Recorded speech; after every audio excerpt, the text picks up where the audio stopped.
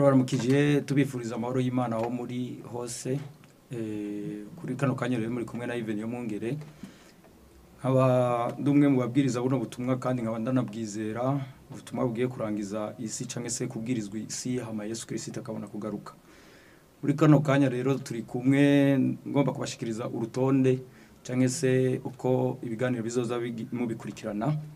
Eh, kuwa mbere kuva saa kumi n'imwe gushika saa kumi na zibiri muzoza mukurikirana indirimbo. Ni ukuvuga ngo ni isaha yose mu- muzofata muriko murakurikirana indirimbo ariko murindiriye icigisho kuva saa kumi na zibiri gushika dizinevere hazoba hariho icigisho c'ubugorozi eh, ngire ngo abenshi bamaze kubikurikirana nubwo twatanguye gukora tutabaye urutonde ariko gusa benshi bamaze gukurikirana ibyigwa kandi no mu kanya baraza kugikurikirana ico cigwa. Kuva saa mbiri n'iminota cumi n'itanu gushika saa tatu cyangwa se 21 tuzokurikirana ikigwa kuri uno munsi nyene wa rendi cyangwa se uwo munsi wa kabiri w'isabato.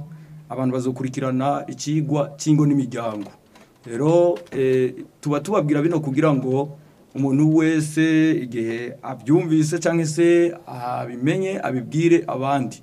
Na cyane cyane abizera buno butumwa. Rero eh, ntabwo twagarukirije gusa ku munsi wa rendi hariho n'umunsi wa gatatu ari wo merekeredi ariko muri bibiliya ni umunsi wa kane w'isabato. Eh, kuva 17 gushika 18 tuzoza dukurikirana nyene ikintu kijanye n'indirimbo kugira ngo eh, mukomeze guhezagirwa biciye mu ndirimbo.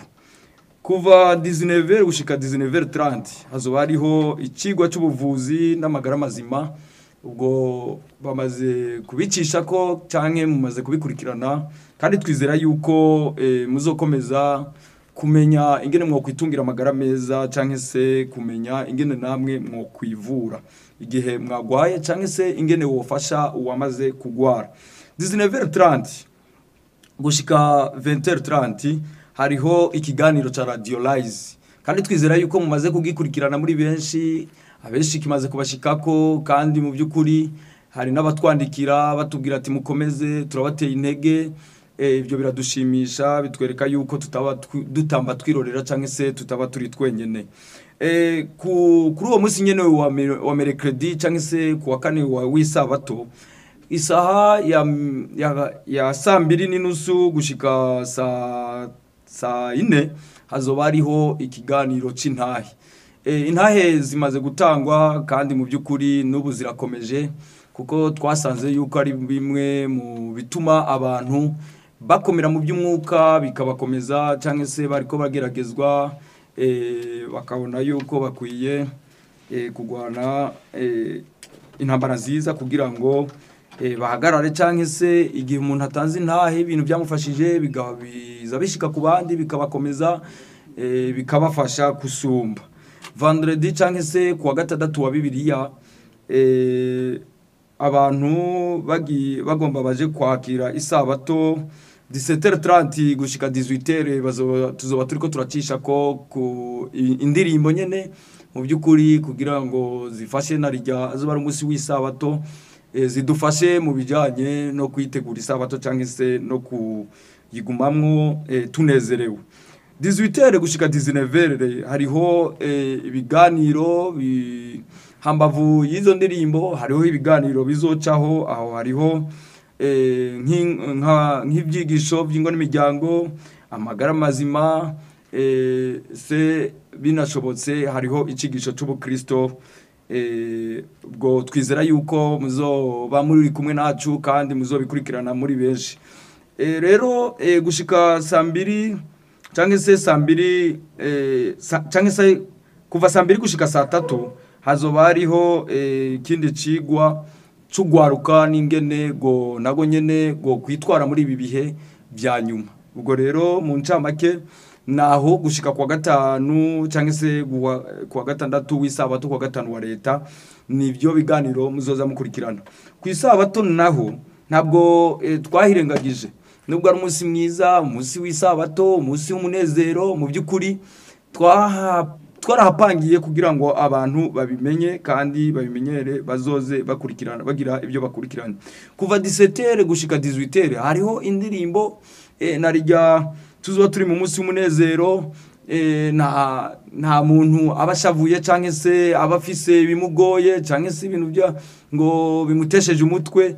Ariko ahubwo ni ukwihuta tukaja ku marezo sosiyo cyangwa se tukaja ku ngurukana bumenyi ku mbuga ngurukana bumenyi tuka tukumviriza izo ndirimbo tumaze kuva ku eh, tumaze kurangiza iby'indirimbo. Hazokurikirana eh, ikindi gikurikira ariko gusa cyo tuzogitanga nka saa mbiri. Indirimbo zizoba nyinshi binashobotse tuzoshiraho ibyigwa bivanye n'ingene tuzoba twarongowe n'imana.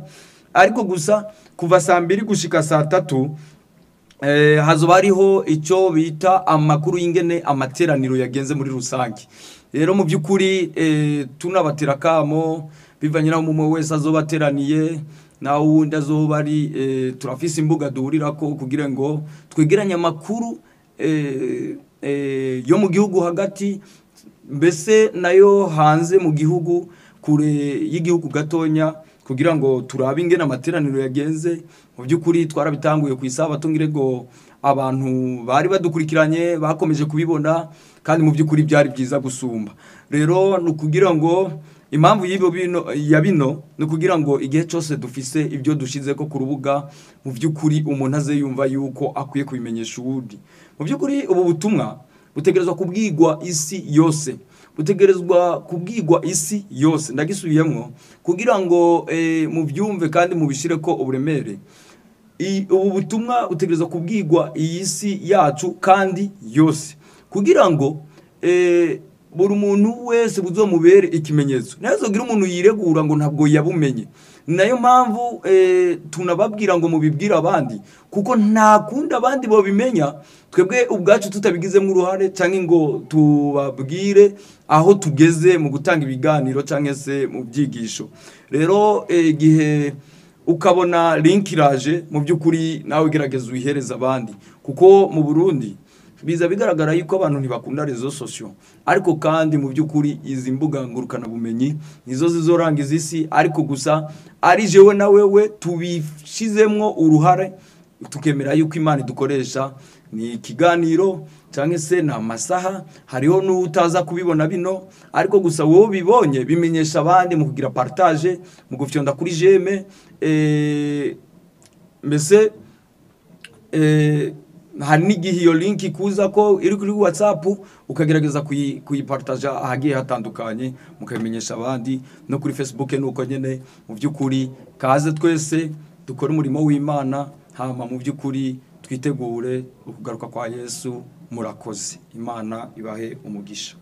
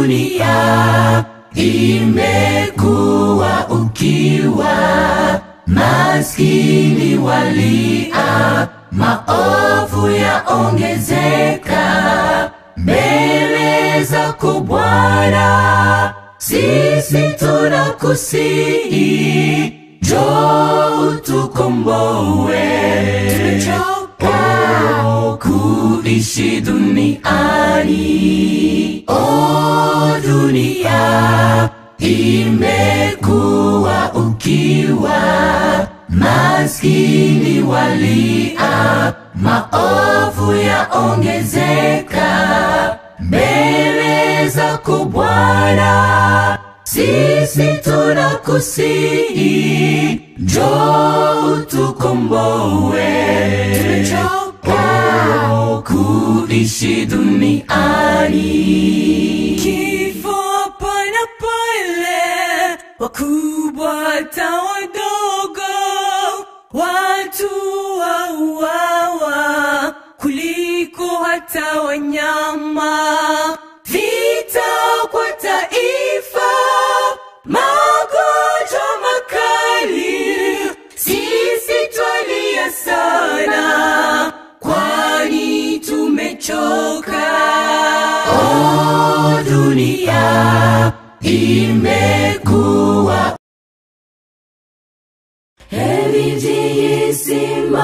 yisuje kuwiteka ebibyi yisuje kwa yesu heba umubiri maze urongogwe namwemu iby'iyisi ona kamaro.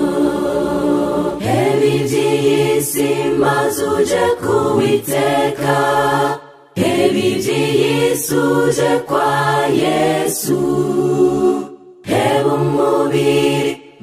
maze urongogwe nawe mu iby'iyisi ona akamaro kuba muzoyo witeka ni more. Kuba mu bana b'imana n'amahoro gusa y'amabatara mumenya nimuze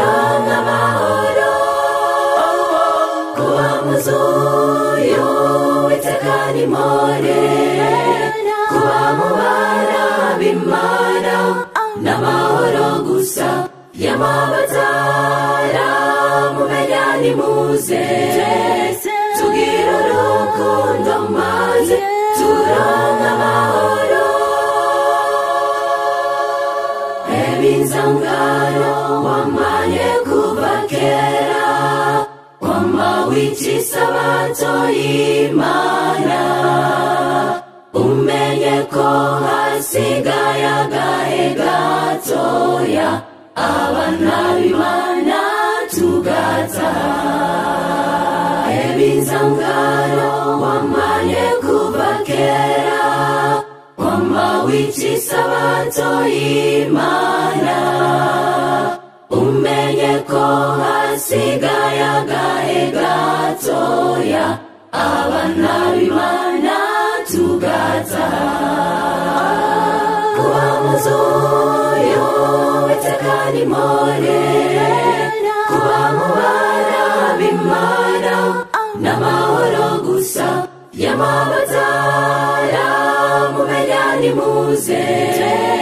Tugira urukundo maze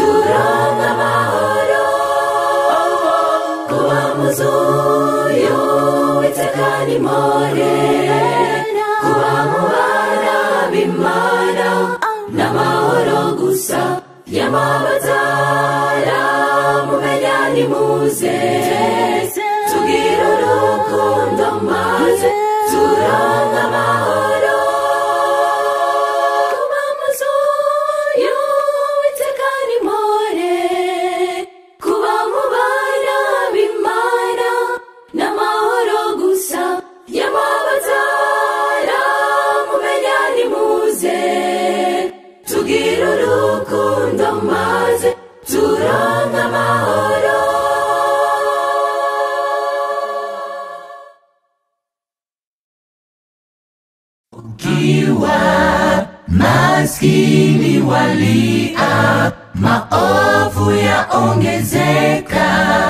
Mbele zako Bwana, sisi tunakusihi, njoo utukomboe, tumechoka. Kuishi duniani. Oh, dunia imekuwa ukiwa, maskini walia, maovu yaongezeka mbele zako Bwana, sisi tunakusihi, njoo utukomboe, tumechoka. Kuishi duniani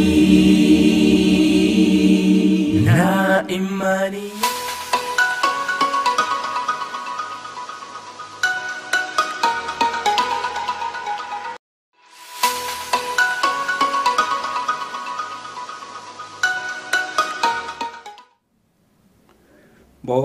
twongeye kubashimira kandi ntiduhengejanya kubashimira. Mu by'ukuri twizera yuko mudukurikirana muri benshi kandi mu by'ukuri eh, biradushimisha kuko bituma bi- eh, tubona yuko tudatamba twirorera kandi yuko eh, muri kumwe nacu izina ry'imana riba umugisha. Rero tugiye kubaha porogaramu ariko mbanje kuyivuga nitwa Iven yo mwongere nkaba nizera buno butumwa bw'ivugurura n'ubugorozi kandi nkongera nkabubwiriza. Kuri uno munsi rero ntiducike intege cyangwa se eh, tugomba kongera kubahereza urutonde tugiye gukorera ko muri iki gihe nigene muzoza mudukurikirana kandi eh, tunabibutsa kugira ngo buri muntu wese icyo amenye cyangwa se aho abiboneye abimenyesha abandi kugira ngo dutebutse kugaruka kwa kirisito Eh, kuwa mbere kuwa mbere ari nawo munsi wa kabiri w'isabato ariko ari wo rendi wi- wa leta. Tugiye kubahereza urutonde duhereye aho narijya ari naho turi kandi mu mwanya mukaba muza gukurikirana bino tugiye kubabwira. Eh, kuvuga ngo kuva 17 rendi gushika 18 hazoba hariko haraca ku mbuga zacu indirimbo. Canke se ni isaha yose tuzofata turiko murumviriza indirimbo na cane cane ko twizera ko muriko muradukurikirana benshi muri benshi. Kuvuga ngo ico umenye canke se no programme eh, tuza gukomeza tunayibabwira kugira ngo eh, muyumve kugira ngo namwe mu by'ukuri mudufashe uyumvise aho uyibonera hose uyimenyeshe abandi. Kuri kuri uyu munsi wa rendi nyene ntabwo twiyumviriye gusa kuri ayo masaha ya 17 gushika 18 ku ndirimbo. Sibyo yuko eh, biraza biranahinduka ku mwanya ku mwanya bivanye n'uko eh, turiko turakora. Ariko gusa mu rutonde twihaye nuko kuva 17 gushika 18 hazoba hariho eh, indirimbo cyangwa se muzoba muriko murakurikirana indirimbo.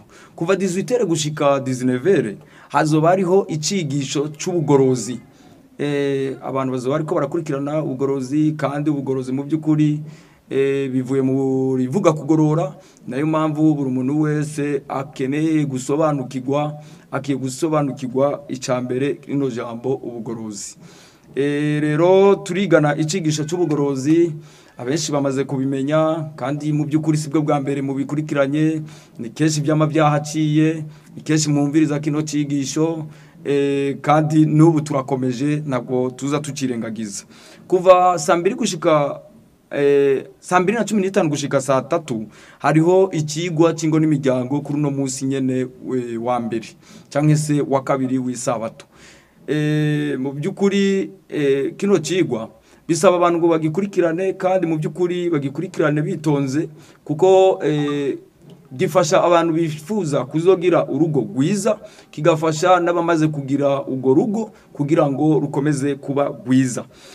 Ntabwo rero twiyumviriye ngo kuwa mbere gusa cyangwa se kuwa kabiri w'isabato ngo abe ariho gusa tugarukira ahubwo twaragiye twiyumvira no ku yindi minsi. Tubona ko ku rutonde du- dushobora kwishyira imbere rukadufasha kandi mu by'ukuri eh, ku bwo gushobozwa n'imana natwebwe eh, tu- tukabishyira mu ngiro. Twabonye yuko na mercredi 17 jusqu'à 18 dushobora eh, gutanga indirimbo nyene abantu bakumviriza indirimbo mu by'ukuri kuko hariyo umuntu usanga atahizagiwe mu kigwa cyangwa ikigwa atacumvise ariko ugasanga ah, atahurira mu ndirimbo. Abo rero ntabwo tuza tubirengagiza ariko kandi icyagufashije kimenyeshe abandi. Kuva 18 gushika 19 ah, ah, hazobandanya indirimbo cyangwa se eh, dushireho ibindi byigwa ariko gusa muzobikurikirana ntabwo bibaye ngombwa ko tubivuga. Ariko gusa ibyo twavuga ni uko kuva 19 gushika 19:30 hazoba ariko harakurikiranwa ikigwa cy'ubuvuzi cyangwa se cy'amagara meza. E, bino na byo mureke tubivuge tubisubiremwo ikigwa cy'ubuvuzi cyangwa se ikigwa cy'amagara meza. Mu by'ukuri abantu bakwiye kugikurikirana kuko amagara yacu abaye mabi mu by'ukuri nta kuntu twohimbaza imana. Mu yandi majambo umuntu akwiye gukurikirana ni igiki eh, yofungura cyangwa se amagara meza ingene yo kwitungira amagara meza kugira ngo ubuzima bwe bube bwiza n'igihe yagwaye ni iki yo kwivuza ni ibiki yofata nk'umuti ni ibiki yovuza abandi mu by'ukuri kino coco eh, bisaba yuko hano hantu umuntu adapfa kuhatambuka uko ahubwo akwiye gukurikirana aho nyine navuze yuko ni ikigo kizoba eh, merekredi cyangwa ku wa kane w'isabato kuva 19 gushika 19:30 kuva 19:30 gushika 20:30 hazoba hariko harakurikiranwa kuri uwo munsi wa kane w'isabato cyangwa merekredi eh, hazoba hariko harakurikiranwa ikigwa eh, kuri radio rise. Ikigwa kuri radio rise. Ushobora kuba ari ubukristo ushobora kuba ari ubugorozi ushobora kuba ari ubuhanuzi ushobora kuba eh, ari ubuvuzi cyangwa se kwitungira amagara meza cyangwa ari uw'ingo n'imiryango mu by'ukuri bivana n'ingene eh, umuntu yapangiwe yayobowe. Rero aho ntimuhacikwe. Kuri uwo munsi nyine wa merekredi eh, kuwa saa mbiri gushika saa mbiri gushika saa tatu saa mbiri n'inusu gushika saa tatu hazoba hariho icyo bita intahe mu by'ukuri eh, intahe bisaba ntizi- ntizizobacike cyangwa se ntimuzocegwe kuko intahe zifise aho zikura umuntu n'aho zimushikanye. Mu by'ukuri umuntu ashobora kuba at- atofashwa n'amasomo menshi ariko gusa akumva abandi aho batsindiye eh, akumva uwabatsindiye akumva ari yesu kirisito mu by'ukuri agakomera biciye mu ntahe. Niyo mpamvu runo rutonde tugiye gukorera ko igihe cyose urumenye nawe rumenyesha abandi kugira ngo ibintu bikomeze kuba byiza. Eh, ku wa nyuma cyangwa se ku wa gatanu cyangwa se ku wa gatandatu w'isabato naho nyine twahiyumviriye ko kuva 17 gushika 18 eh, tuzoba turiko turakurikirana indirimbo. Kuva 17 gushika 18 na 18 gushika 19 eh, reka mvuge ngo kuva 17 gushika 18 17 gushika 18 hazoba hariko harakurikirana indirimbo. Kuva 18 gushika 19 hari igihe tuzobashiramo indirimbo cyangwa tubashiriremwo eh, ivyigwa cyangwa intahe bizovana n'ingene twarongowe n'Imana. Kuva 19 gushika 20 eh, hazoba hariho ivyigwa by'ingo n'imiryango ndabisubiramo kuva 19 gushika 20 hazoba hariho ivyigwa by'ingo n'imiryango kwitungira amagara meza hari igihe azoba ari ubuhanuzi mu by'ukuri bivanye n'ingene imana izotuyobora. Ariko eh, kuva 20 gushika 21 hazoba hariho eh, ibindi vyigwa mu by'ukuri muze muri benshi twige kandi eh, na cyane cyane icigwa kizoharengana canke kizo kizoca kuri ayo masaha kuva 20 vendredi cyangwa se kuwa nyuma kuva 20 gushika eh, 21 ni cigwa cugwaruka ariko gusa eh, twifuza yuko eh, namwe bwe mutwereka yuko turi kumwe. Hazobaho muri ibyo bintu byose twavuze hazobaho eh, kwishura ibibazo cyangwa se kubaza ibibazo hama tuvyishure eh, mbese n'inyunganizi muri komenti tu tuzoba tubakurikiranye kandi mu by'ukuri tuzoza tuzibasomera kugira ngo tubisangirire hamwe. Ku isabato naho ntabwo twahahevye naho nyene twagize ico tuhapangira. Ni ukuvuga ngo kuva 19 17 gushika 18 hazoba hariho indirimbo. Eh naho nyene ku isabato abantu bavuye kwakira gutangura eh abantu bavuye ku isabato. Bavuye kuruhuka isabato. Nk'uko ibyanditswe byera bitwereka yuko ari eh, umunsi w'umunezero umunsi umuntu ataba afise amastresse umunsi umuntu aba yaruhutse. Mu by'ukuri eh, abantu bazova mu materaniro bace baza ku mbuga ngurukana bumenyi kugira ngo bakurikirane ibiriko birahaca. Ibyo na byo tuzobanza kuva 17 gushika 18 tubashiriremo indirimbo kandi mu by'ukuri bizoba ari ibintu byiza cyane ni kuvuga ngo kuva 18 gushika 19 ibintu eh, bizoba biriko biraha- bi- birahaca. Hambavu y'indirimbo dushobora kubandanya n'indirimbo bivanye nuko twarongowe canke se eh, tugashiraho ikindi cigwa abantu baba barakurikirana kugira ngo babe bararuhuka bisumbirije cyane eh, kuva 19 gushika 20 naho nyene dushobora gushiraho ivyigwa by'ubukristo ivyigwa eh, by'ubugorozi ibyigwa bw'ubuhanuzi cyangwa se ingo n'imiryango cyangwa se tugashyiraho intahe mu by'ukuri eh, ibintu bizoba ari byiza. Eh, reka ndabakubwire ngo ibintu bizoba ari byiza na yo mpamvu tuguhamagarira kugira ngo ubane nacu. Kuva saa mbiri gushika saa tatu hazoba hariho amakuru muri rusangi ku isi. Kuvuga ngo kuva hano iwacu eh, n'inyuma y'ibindi bihugu twakira ingina amateraniro yagenze eh, ndagisubiramo. Kuva saa mbiri gushika saa tatu tuzoba turiko turakurikirana amateraniro ingene yagenze muri rusangi hafi na kure. Niyo mpamvu rero eh, bisaba ngo buri muntu wese bino bintu kugira ngo bigende neza abyiteho kandi mu by'ukuri icyo ashoboye agikore na cyane cyane eh, ufise ibibazo ubibaze muri komantere aho ugira like ugire like aho two udutera intege udutera intege. Ariko kandi icyo dutera intege gusumbiriza ni uko eh, ibyo umenye cyangwa se ibyo wumvise wobimenyesha abandi. Mu kugira jeme partage n'ibindi. Mu by'ukuri imana ikomeze kubagirira neza kandi mukomere cyane. Eh, tubasabiye umugisha imana ihabwa icubahiro.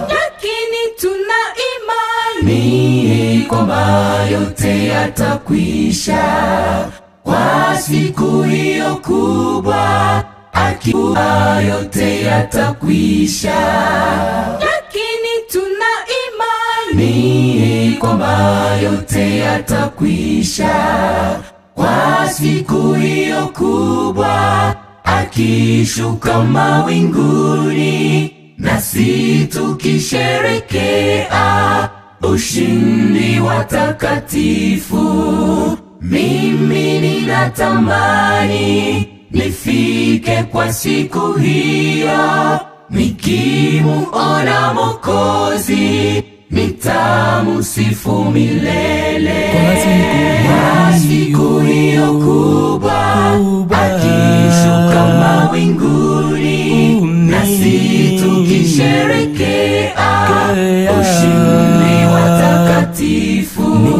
Mimi ninatamani. Nifike kwa siku hiyo, nikimuona Mokozi nitamsifu milele. Mimi ninatamani.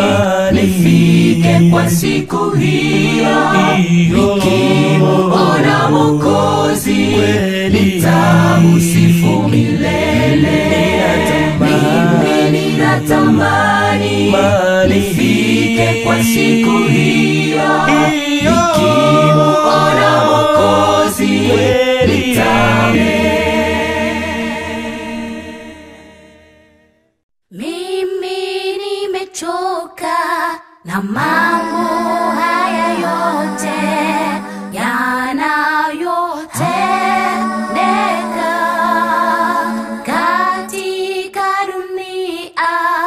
sasa najiuliza, je, twaenda wapi? O dunia imekuwa ukiwa, maskini walia, maovu yaongezeka mbele zako Bwana, sisi tunakusihi, njoo utukomboe, tumechoka kuishi duniani.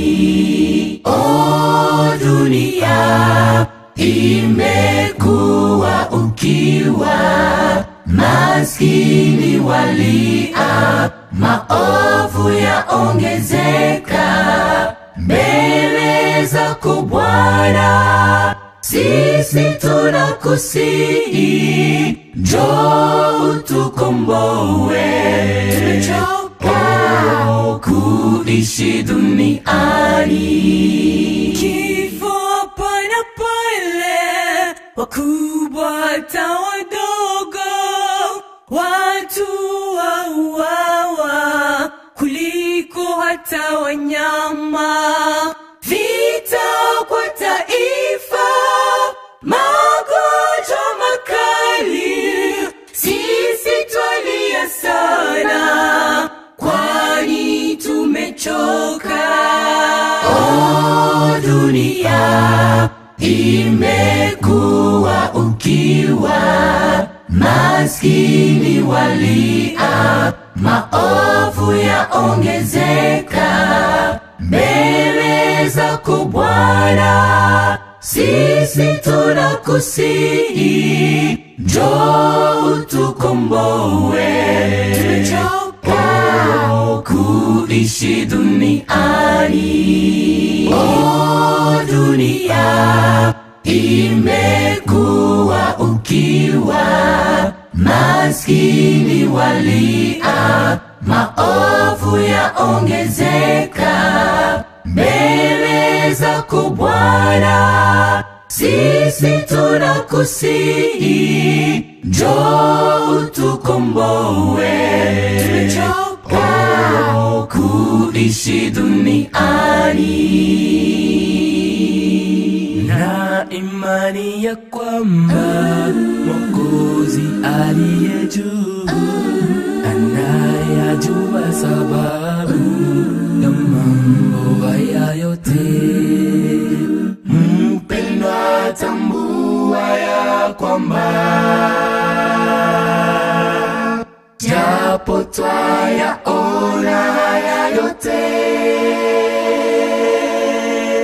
Lakini tuna imani, ni kwamba yote yatakwisha, imani, ni kwamba yote yatakwisha kwa siku hiyo kubwa, akishuka mawinguni, nasi tukisherekea ushindi wa takatifu.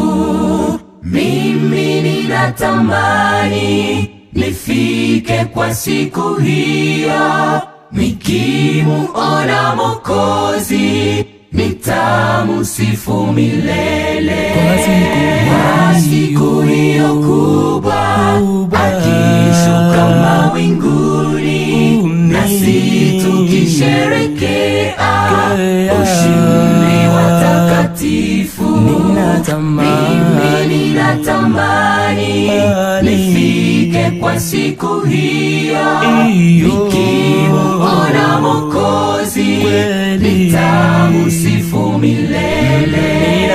Mimi ninatamani nifike kwa siku hiyo, nikimuona Mokozi nitamusifu milele.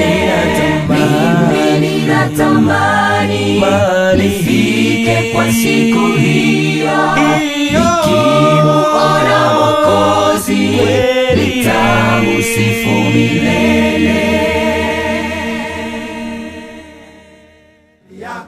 naomboleza kwako Bwana, natama ninifike kwako, kwa kuwa masumbufu ya dunia hii yamenichosha sana sana. Nalia, naomboleza kwako Bwana, natama ninifike kwako, kwa kuwa masumbufu ya dunia hii yamenichosha sana sana. Wageni na wasafiri. Twaelekea nchi yetu tuliyoandaliwa Dunia hii kweli si yetu. Na pia si maskani yetu. Ila dunia hii ni pango letu. Haleluya. ipeni moyo tunakaribia kwetu. Haleluya. ipeni moyo tunakaribia kwetu. Tu wageni na wasafiri twaelekea nchi yetu tuliyoandaliwa dunia hii kweli si yetu. Ah, na pia si maskani yetu. Ila dunia hii ni pango letu. Haleluya. Moyo tunakaribia kwetu Haleluya. Peni moyo tunakaribia kwetu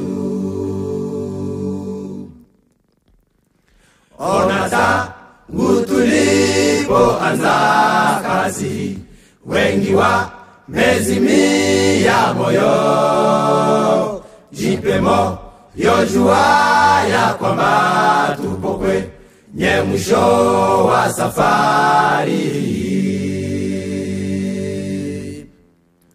Ona tangu tulipoanza kazi. Wengi wa mezimia moyo. Jipe moyo ya kwamba tupo nye mwisho wa safari.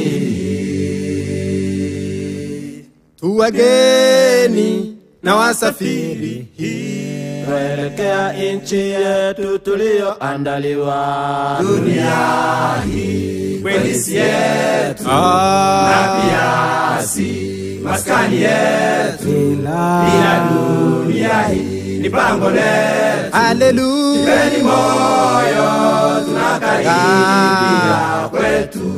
Haleluya. moyo tunakaribia kwetu Wageni na wasafiri.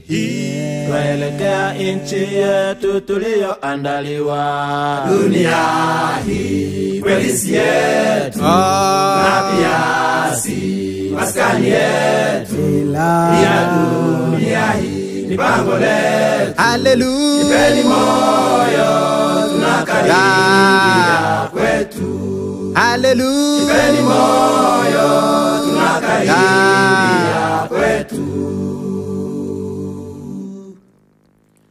maombi ni silaha toka kwa mungu ili tushinde majaribu amka mapema umuombe mungu hakika atakushindia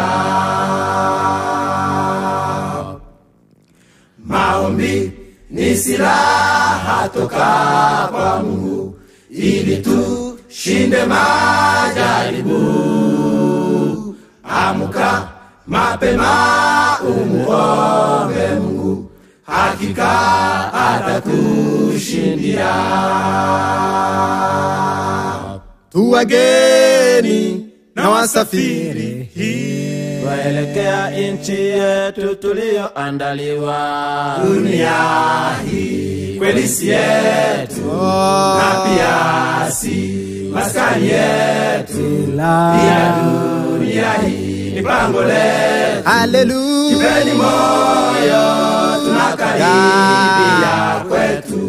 Haleluya. peni moyo tunakaribia kwetu. Tu wageni na wasafiri twaelekea nchi yetu tuliyoandaliwa dunia hii kweli si yetu. Na Ah, pia si maskani yetu. Ila dunia hii ni pango letu. Haleluya. peni moyo tunakaribia kwetu. Haleluya. peni moyo Haleluya kwetu.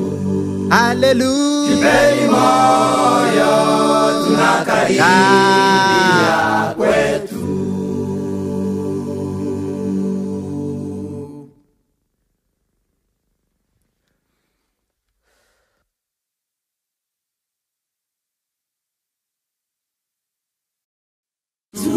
Tugeze kwisaha ya nyuma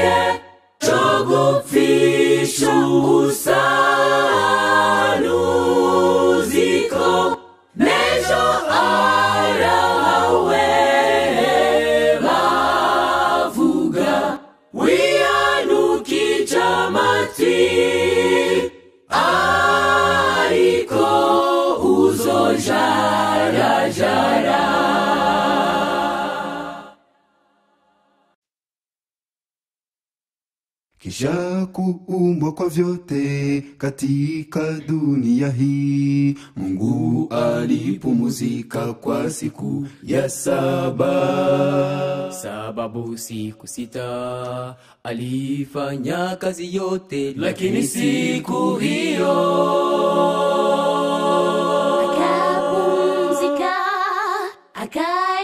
akaibariki pia akaitakasa.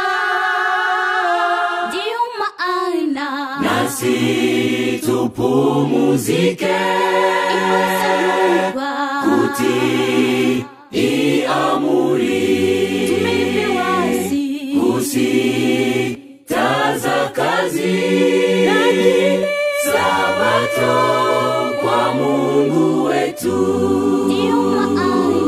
Nasi tupumuzike. Kuti kutii amuri tumepewa si kusitaza kazi sabato kwa mungu wetu. Jiulize ewe ndugu siku ambayo tumeombwa kutofanya kazi yoyote nimepewa usamani kuliko zingine zote jiulize kwa nini? Jiulize ewe ndugu siku ambayo tumeombwa kutofanya kazi yoyote. Nimepewa usamani. Kuliko zingine zote jiulize kwa nini sabato hiyo ni alama kati ya mungu nasi. Wana wake ndiyo maana nasi. Tutambue kwamba ni chanzo cha mateso ya wana wa mungu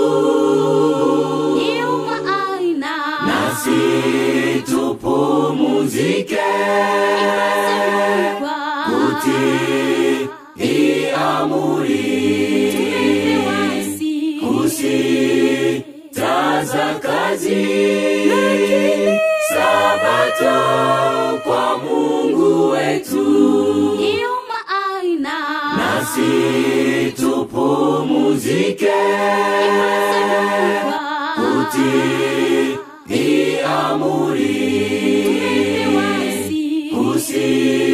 kusitaza kazi sabato kwa mungu wetu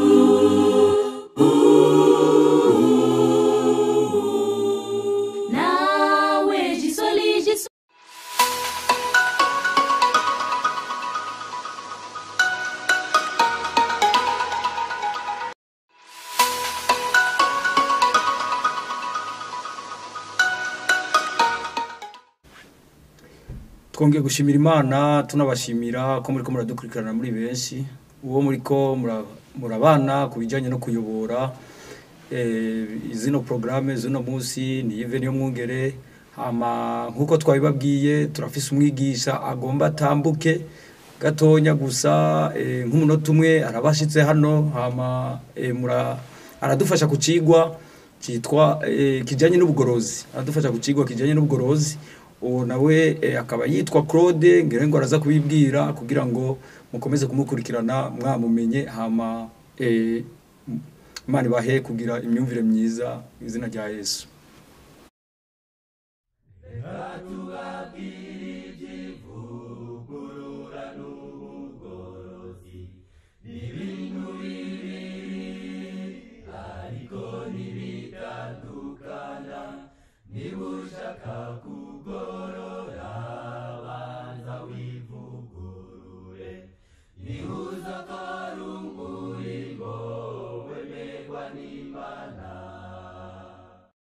turabahaye mwiriwe mwese abateze amatwi eh, radiyo ikorera kuri interineti ku mbuga zitandukanye facebook na youtube baba abari muri kino gihugu cy'u Burundi cyangwa abari hirya no hino ku isi amahoro y'imana abane namwe. Eh, uwo mugiye kubana muri kino kiganiro nitwa Nizigimana Jean Claude turi abagorozi bemera ivugurura. Reka dusenge kugira ngo twige. Turagushimye data wa twese wo mu ijuru tugutambira ishimwe rikomeye kuko duhaye kubaho. Tuje imbere y'ubwiza bwawe muri ino studio kugira ngo tuganire n'abo waremye ijambo wanditse. Turakwingingiye rero utubabarire kandi udutsindanishirize ijambo ryawe uriyoboreshe ubushobozi bw'umwuka wera. Kugira ngo icyo wagambiriye kuri mwene muntu kugira ngo akuyoboke kimugereho kandi twese hamwe uduhe umugisha wo kuzakubona tubyambaje mu izina rya yesu. Eh, muri kino kiganiro tugiye kwigana ijambo rivuga ngo eh, umurimo w'ubugorozi mu minsi iheruka. Uwo murimo w'ubugorozi eh, bisaba ko umuntu wese awumenya ubugorozi ni iki? Ubugorozi ni gusubiza ikintu mu ishusho cyahoranye. Nicyo gituma uraba nko ku mamodokari amakinga amamoto haba hariho abafundi bashobora kuyakora igihe yavunitse igihe yagize isanganya imodokari bakayisubiramwo ariko uwo muntu agiye kuyisubiramwo akaba afise inararibonye akaba abishoboye neza akaba yarazi ishusho y'icyo kintu agiye kugorora yari ifise mbere. Noneho rero eh, ibyo tugiye kwiga muri ubu bugorozi bwo muri iyi minsi yacu iheruka eh, ni ibijyaniranye n'iyobokamana. Ni ibijyaniranye n'iyobokamana kugira ngo ibyahindanijwe ibigenda nk'uko imana itabivuze byongere bisubize mu mwanya wabyo. Eh, twihuse rero uhereye mu mugambi wo kurema imana ikirema ababyeyi bacu ba mbere nta wundi mugambi yari ifise wari uwo kugira ngo imana igire abantu yiharije abantu bayubaha ubwoko buyikunda abana bayumvira. Wari uwo mugambi. Noneho rero ariko igihe ababyeyi bacu ba mbere bacumura bakajya ku giti cyabuzanijwe imana yabateganirije kubacungura kugira ngo bongere babe abana b'imana. Ni byo muzasoma mu gitabo cy'itanguriro igice cya gatatu ku murongo wa mirongo ibiri na rimwe aho handitse yuko e, imana yaronkeye adamu na eva imyambaro y'insato irabambika. Kwari ukugira ngo ubwo bari bacumuye bongere e, bongere bagaruka imbere y'imana bambaye ubwiza bw'imana ibaronderera umwambaro w'urusato hishwe igikoko icyo gikoko yari yesu azoza agacungura mwene muntu. Hari aho ibyiringiro by'umuntu wese bisaba kubaka. Noneho rero ni byo muzasoma no mu gitabo cyitangura igice cya kane aho ah, uruvyaro rwa adamu kayini na abeli nabo bagendeye ku rutonde rwo kubaha imana mu gutanga ibimazi byo kugira ngo bacungugwe noneho ni ho mwasomye ku murongo eh, wa kabiri ubwo bari bagiye gutanga ibimazi eh, haranditse ngo asubiza akavyara abeli abeli aba umwungere w'intama kayini aba umurimyi igihe kiragira kayini azana ishikanwa ku vyeze mu ndimiro ngo abishikanire uhoraho. Abeli nawe azana ku ntungwa y'uburiza zo mu mukuku wiwe no ku binure vyazo. Uhoraho yakira abeli ishikanwa ryiwe ariko ntiyakira irya kayini ishikanwa ryiwe.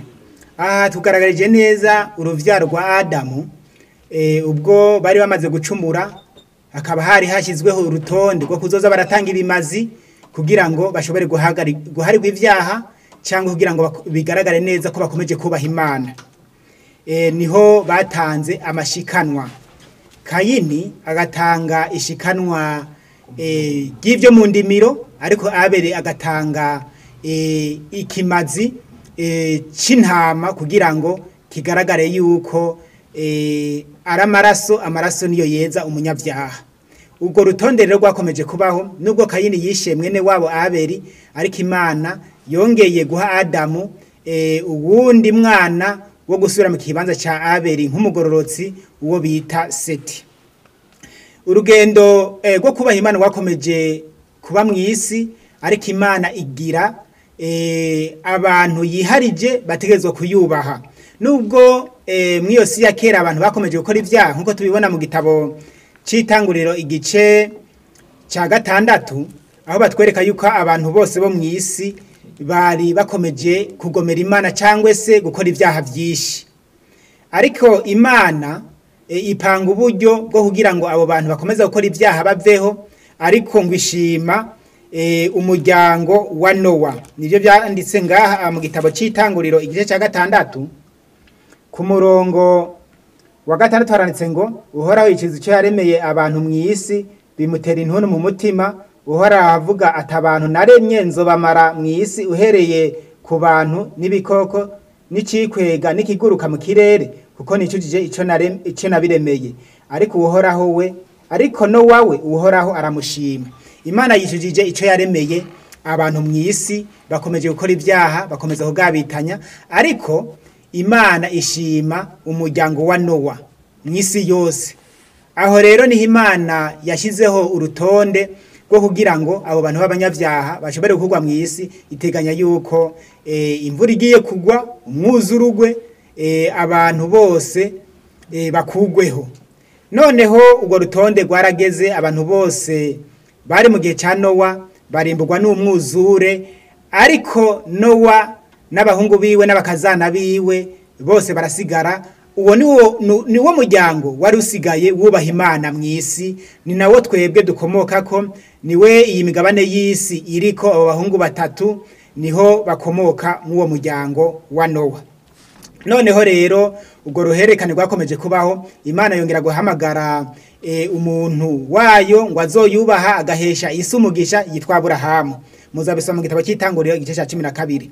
Uwo mugabo wa aburahamu yabyaye umuhungu yitwa isaka. Isaka abyara abahungu babiri yakobo na esawu. Yakobo avuka ko imiryango cumi n'ibiri y'abana bisirayeli. Abo bana bisirayeli nibo imana yari yaratoranije. Mu isi kugira ngo bube ubwoko bwayo bube abana bayo.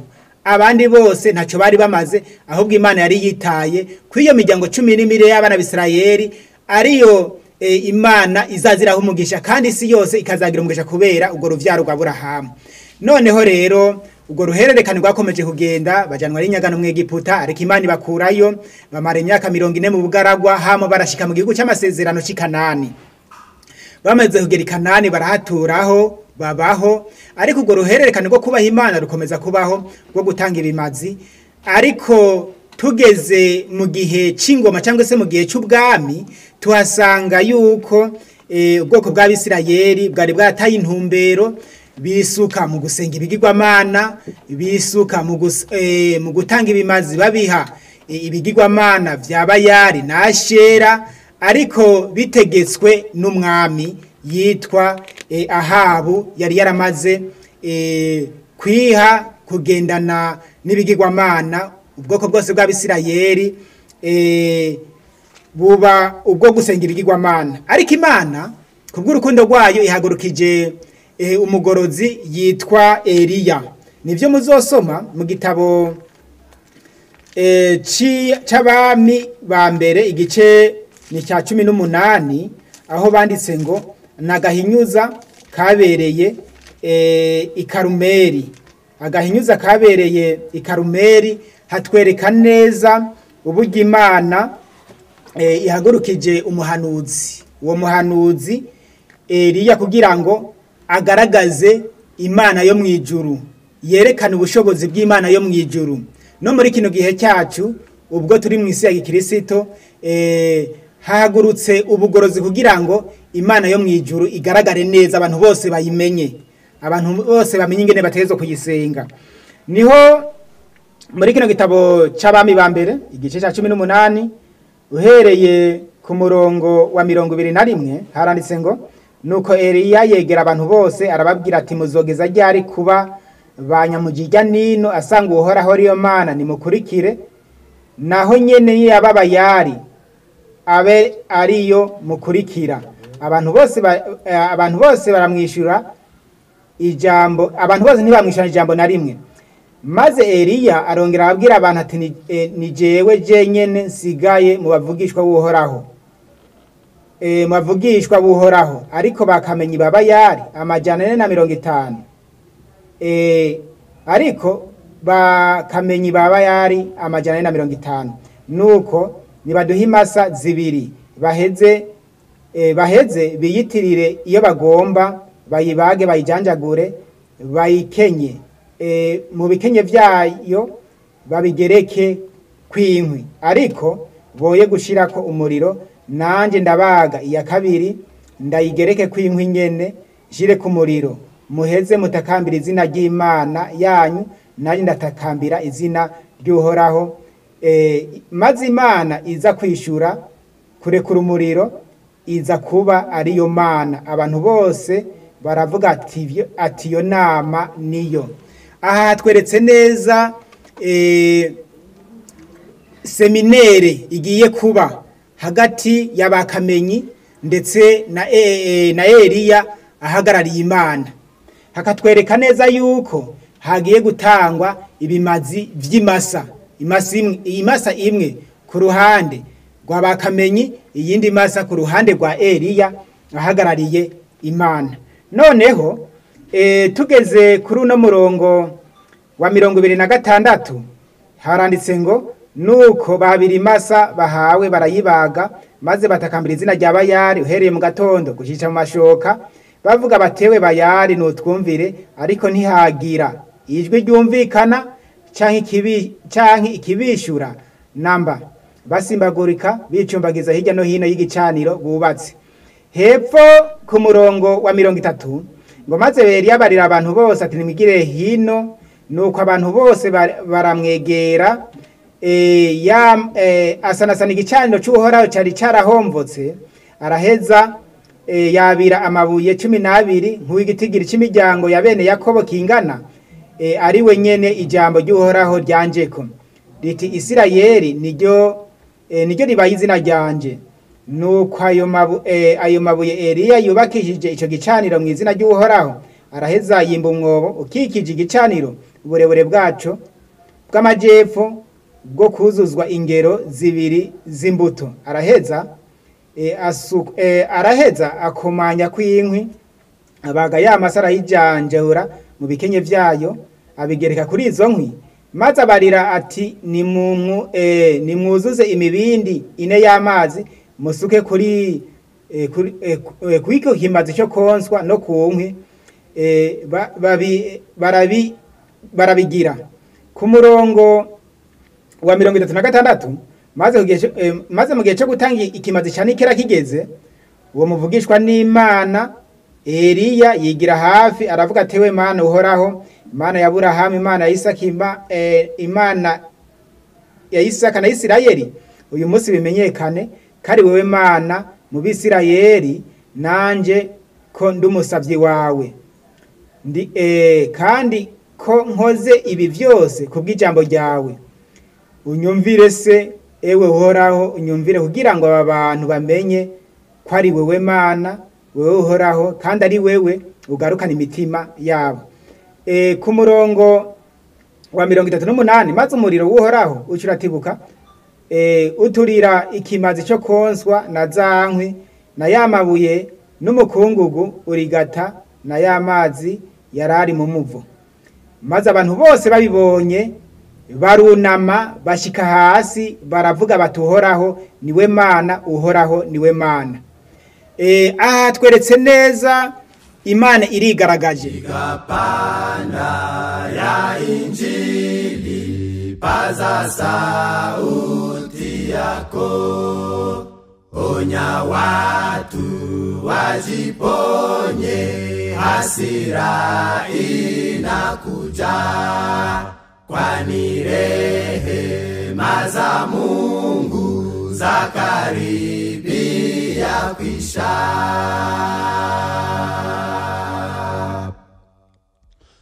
piga panda ya injili paza sauti yako. Onya watu wajiponye hasira inakuja. Kwani rehema za mungu za karibia kwisha Yesu ndiye anaita. Yesu ndiye anaita. Akiwa na huzuni akiwa na huzuni oh, kwa wale wanapotea, waliwakomboa, atakumuhuzunisha, atakumuumiza.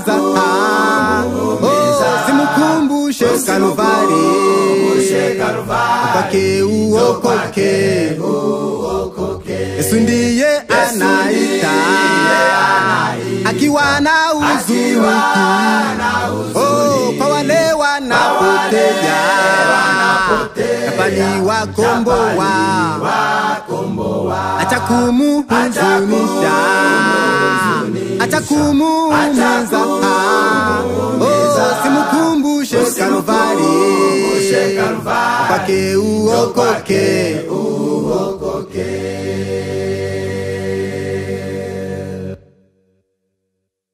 Lango kwa wale wapotevu wametawanyika kwa mazebu ya Babeli. Mchungaji huwataka warudishwe zizini. Lango limefunguliwa kwa wale wapotevu, wametawanyika kwa mazebu ya Babeli. Mchungaji huwataka warudishwe zizini. Sikilizeni sauti. Sikilizeni sauti. Inatoka mbinguni. Inatoka mbinguni. oh, taifa langu Taifa langu tokeni. Mbieni Babeli. Mbieni Babeli. msizishiriki dhambi. nayo mapigo ya yake oh, kwa maana zambi zake. dhambi zake. Mefika mbinguni. Mbinguni sikilizeni sauti. inatoka mbinguni, oh taifa langu tukeni kimbieni Babeli,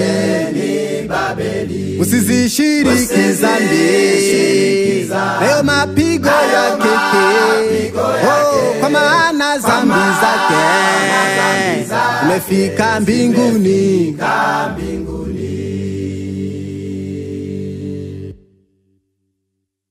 Mungu amekumbuka maovu ya Babeli, uzinzi, wizi, ulevi, wivu, hata kiburi, na kutabiri uongo kwa jina lake.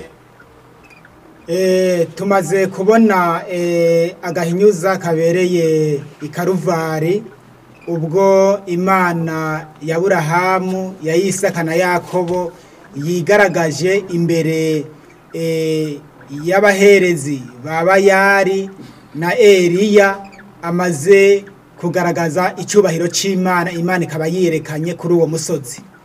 Noneho ibi bitweretse neza uwo mugorozi ahagurutse muri icyo gihe cya kera. Agasanga bakamenyi nibo bafise ijambo. Umwami yarazimiye ya- ya- yisutse mu bigirwamana asenga ibigirwamana agenda kuri za gahunda za bakamenyi. Ariko eliya imana iramuhagurukije kugira ngo icyubahiro cy'imana kigaragare eh, kigaragare mu bantu batweretse neza muri no murongo wa mirongo itatu n'icyenda baranditse ngo maze abantu bose babibonye barunama bashyika hasi baravuga ati uhoraho ni we mana uhoraho ni we mana. Umugorozi ahagurutse muri icyo gihe akaba agaragaje imana ni nawe akwiye kugaragara muri iki gihe cyacu giheruka. Niwe akwiye kugaragara muri iki gihe cyacu giheruka kugira ngo e, icyubahiro cy'imana yaremye ijuru n'isi ikaba yararemye abantu buri muntu wese yongere atekereze kuri icyo cyubahiro cy'imana no kuyubaha no kuyisenga by'ukuri.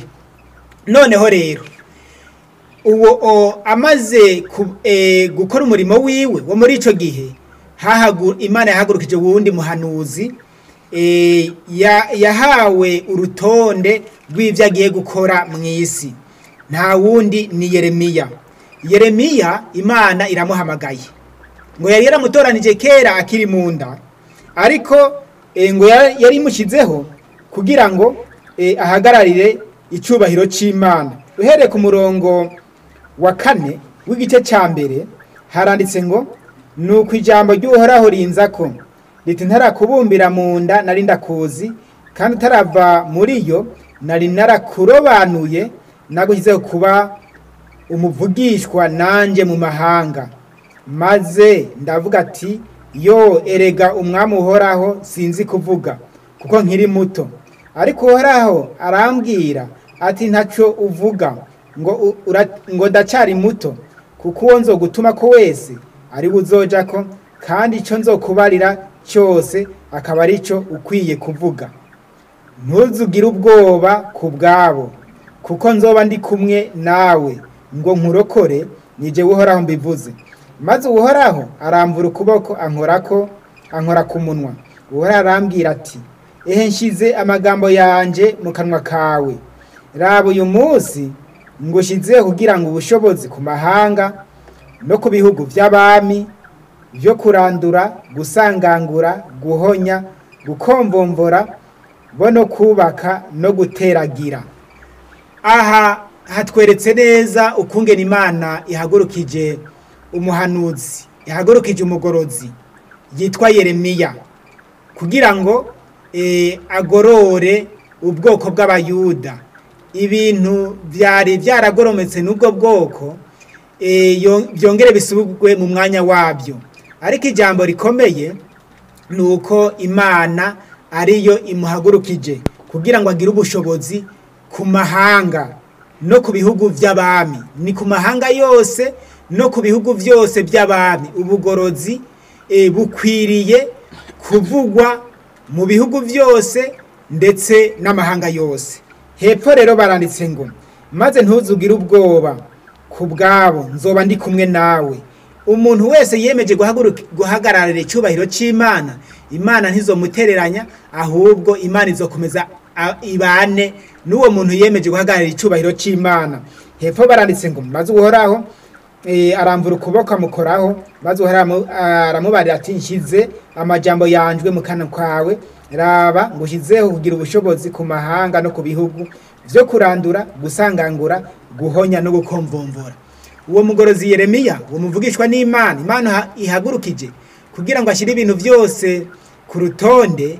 Imana imubwiye yuko eh, ari kurandura gusangangura guhonya eh, no gusanga eh, no gukomvomvora. Nibyo yeremiya yari atumwe.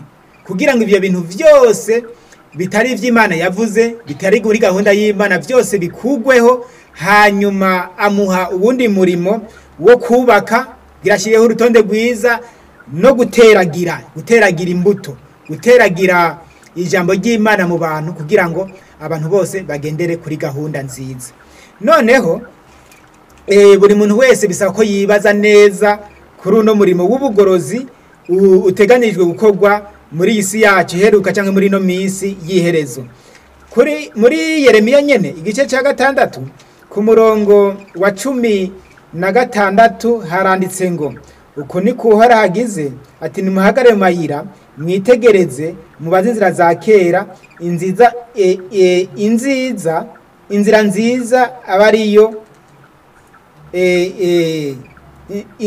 inzira nziza iyo ariyo aba mujyana maze muzoronka uburuhukiro bw'imitima yanyu. Ariko bo baravuga bati ka ntituyijyana aha tweretse neza yuko umuhanuzi yeremiya yeretse abantu yeretse abantu inzira bakwiye gucamo inzira y'imana ni inzira ya kera. Uko ingene imana yabanye n'abahanuzi. Ingene imana yabanye n'ubwoko bwayo.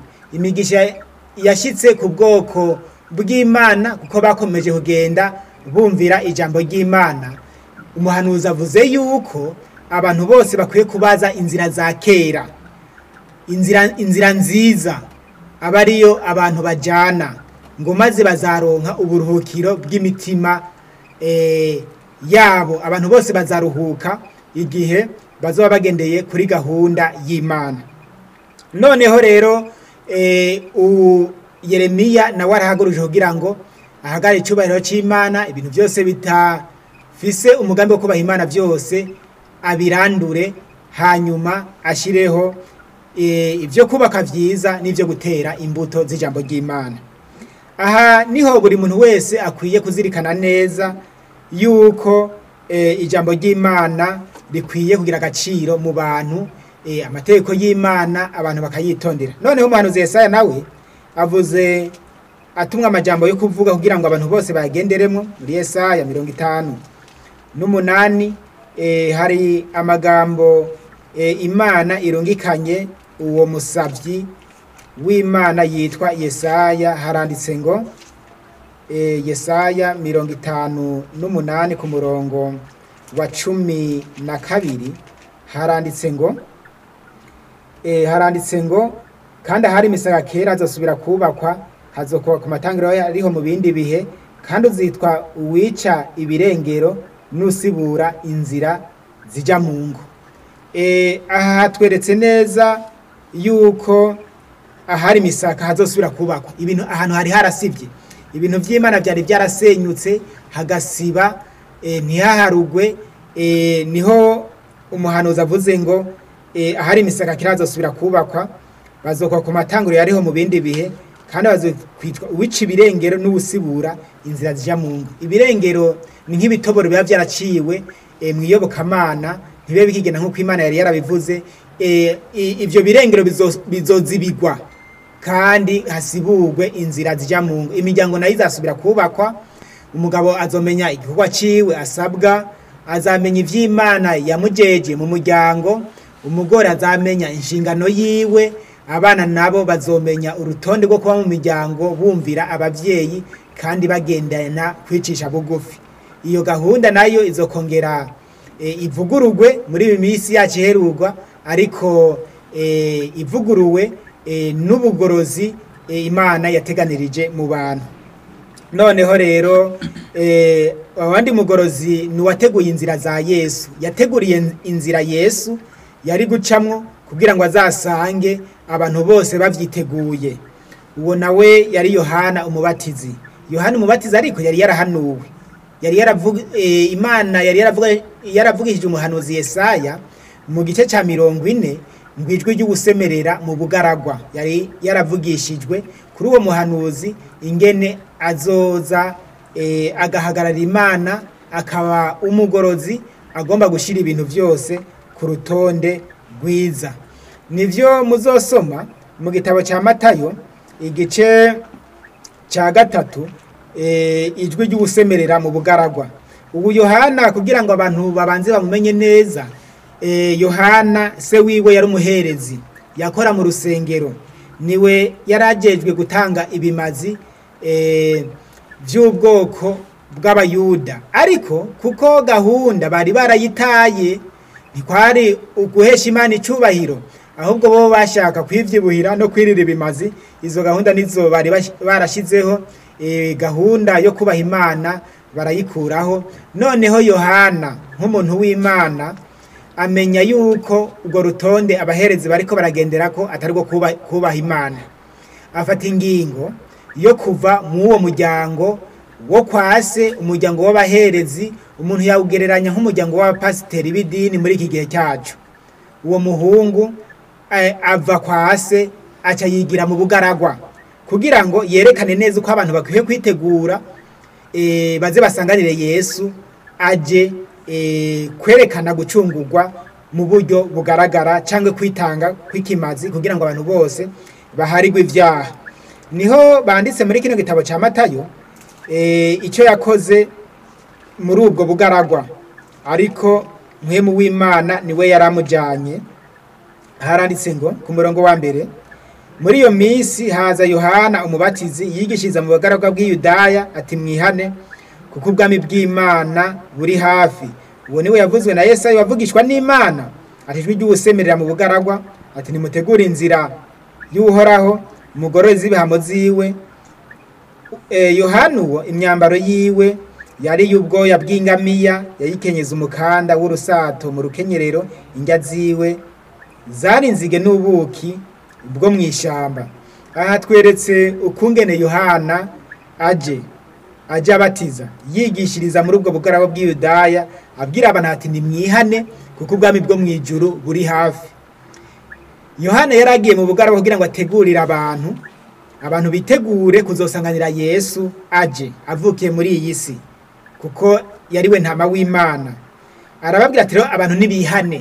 Kwihana ni uguhinduka ni ukureka ibyaha ni ukureka eh, ibikorwa bibi wahora ugenderamo. Hama ukihana we ukakira ubwami ubwami bw'imana.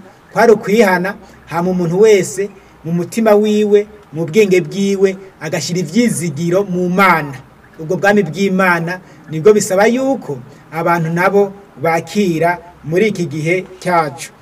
Noneho muri kino gitabo cyitwa uwifuzwa ibihe byose mirongo itandatu na gatandatu hari amajambo ahanditse umurimo wa yohana eh, uwo ari wo. Haranditse ngo yohana nk'umuhanuzi yagomba gusanganya imitima y'abana n'iy'abasi.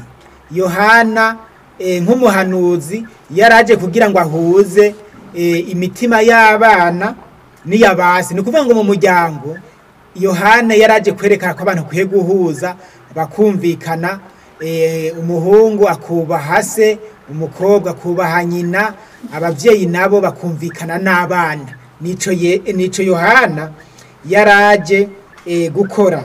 N'abatumvira imana akabayobora mu bwenge bw'abakiranutsi. Abantu bose batubaha imana. Akabereka ubwenge eh, bw'abakiranutsi bwo kubaha imana. Kuko ubu muri kino gihe cyacu ni igihe gikomeye cyane ubwo abantu bose basenga abantu bose bafise aho binjirira. Ariko iyo urabye eh, ubukirisito cyangwa se kubaha imana usanga ntako kuko aya madini yabaye menshi ariko n'ibyaha na byo byakomeje kwiyongera kandi byari kuba byaragabanutse kuko abasenga nabo ari benshi. Eh, ni ikimenyetso cyerekana neza yuko eh, aya madini eh, atari gushakira agakiza abantu ahubwo abantu bose bayashinga bafite iyindi ntumbero atari yo kubaha imana. Hepfo baranditse ngo yohana rero yaraje kwerekana abantu batumvira imana kugira ngo abayobore ku bwenge bw'abakiranutsi kugira ngo ategure ubwoko bwatoranijwe umwami.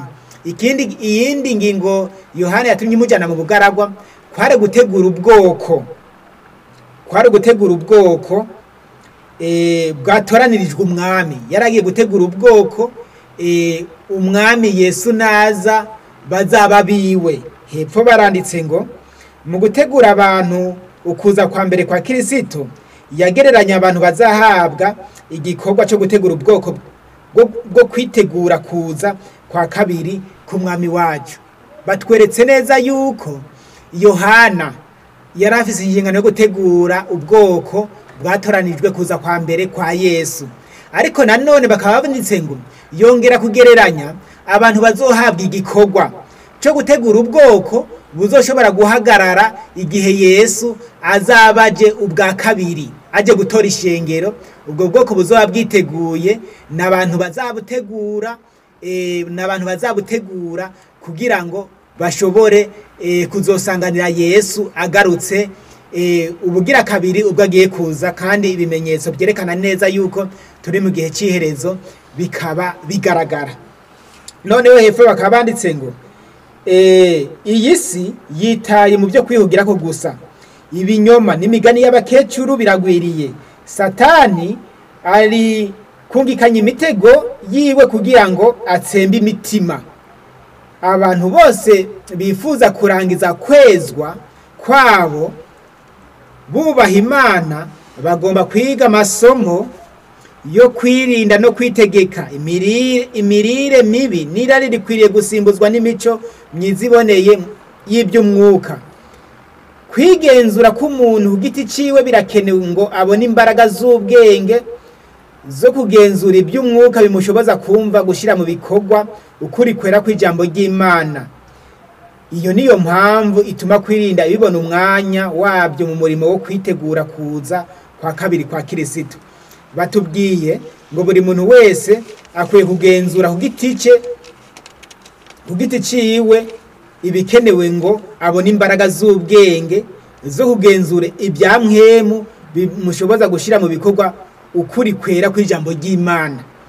Baranditse ngo buri muntu wese muri igihe giheruka akwiye kubigenzura neza akaraba iyobokamana arimwo ko rish- ko rishoboza kugenzura iby'umwuka ngo ashobore gutandukanya ikibi n'ikinyoma.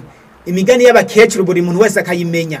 Ko imigani y'abakecuru idashobora gukiza umuntu ahubwo ikintu kizoshobora gukiza umuntu ari ijambo ry'imana kurishyira mu bikorwa. Hirya baranditse ngo eh, baranditse ngo yuko kugira ngo babone umwanya wo kwitegura kuza kwa kabiri kwa kirisito abantu bose bakwiye kugira ubwenge basobanukirwe neza ukungene baba biteguye kuza kwa kabiri kwa kirisito abo rero ni abagorozi bashushanya. Yohana nk'uko yavuye mu rusengero akava mu giherezi kwa se akajya mu bugaragwa. No muri iki gihe cyacu yohana ashushanya abantu bazahabwa igikorwa cyo kugorora abantu bose. Bari mu iyobokamana bakabereka neza ibyo barimo ari ibinyoma bakabereka n'inzira bakwiye gucamwo. Y'ijambo ry'imana. Ibyo rero yohana ashushanya abo bantu bazohabwa igikorwa cyo kugira ngo icyubahiro cy'imana cyongere kugaragara. E, uwo nawe yarateguye abantu kandi yesu aje yasanze biteguye. E, ni ho abantu haje abantu benshi baba abafarisayo baba n'abasirikare ariko abereka icyo bakwiye gukora. Abereka icyo bakwiye gukora muri kino gitabo cya ruka igice ni icya gatatu ku murongo wa cumi haranditse ngo ishengero riramubaza ati none tugire dute? Arabishyura ati ufise amapfundo abiri ah, ufise amapfundo abiri nahe eh, rimwe narihe utarifise. N'ufise ibyo kurya agira atyo. Kandi haza n'abatoza kori kubatizwa baramubaza ati tugire dute? Arabishyura ati ntimugatoze abantu ibiruta ibyo mwagezwe.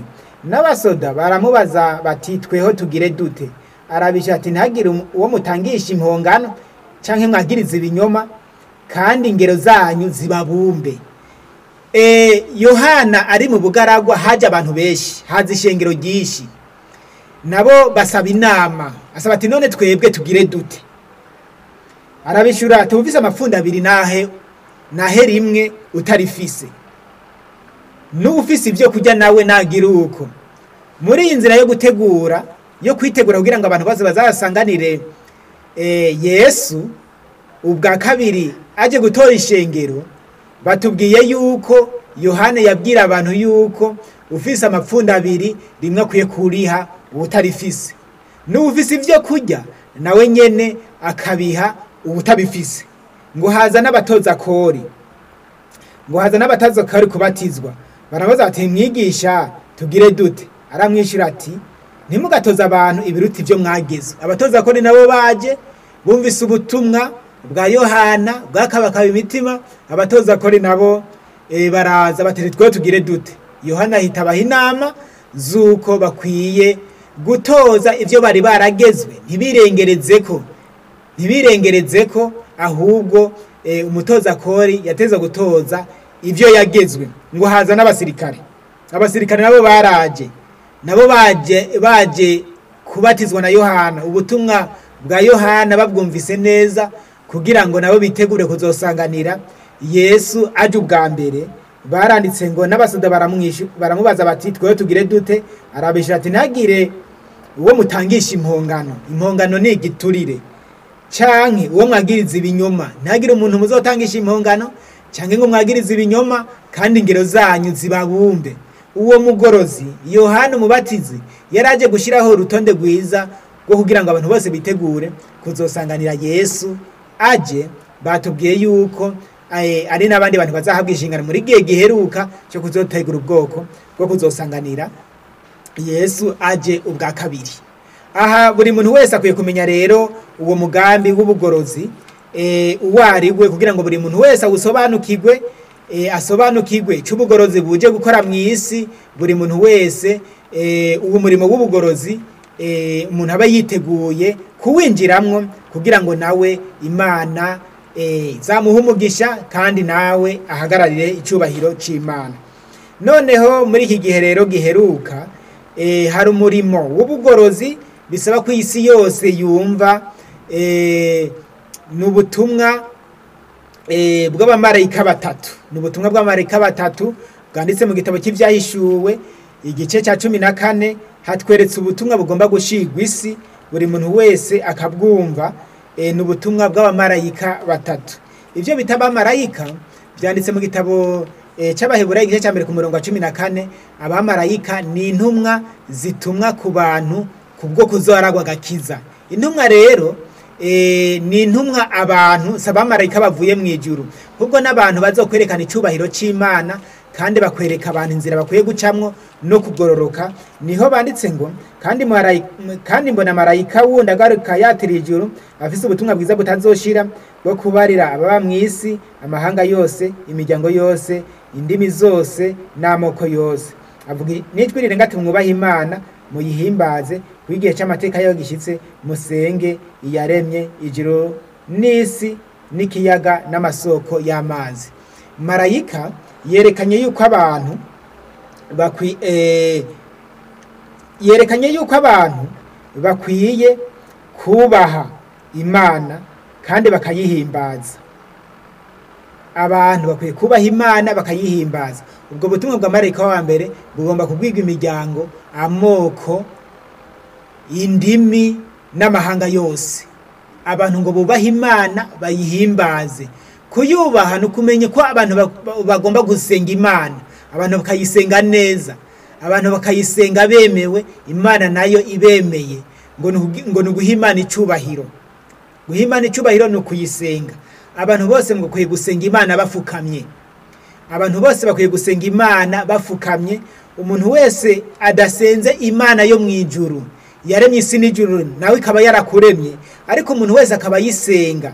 Adafukamye eh, yesu ni we yagiye abivuze neza yuko abo bantu baba bayindyarya mu gitabo cya matayo igice cya gatandatu ku murongo wa gatanu iyo musenga ntimukabe nka za ndyarya kuko bakunda gusenga bahagaze mu masinagogi no mu mayira abiri ngo biyerekane imbere y'abantu. Ndababwira ukuri baramaze guhebwa impera zabo. Yesu yerekanye neza kugira ngo umuntu abe ahaye icyubahiro imana ari ugusenga afukamye. Iyo umuntu adasenze afukamye aba abaye indyarya. Kugira ngo rero marayika azanye ubutumwa butazashira abwira abantu ati bubahe imana. Bayihimbaze. Kuyubaha ni ukuyisenga. Kuyisenga ni ugusenga umuntu.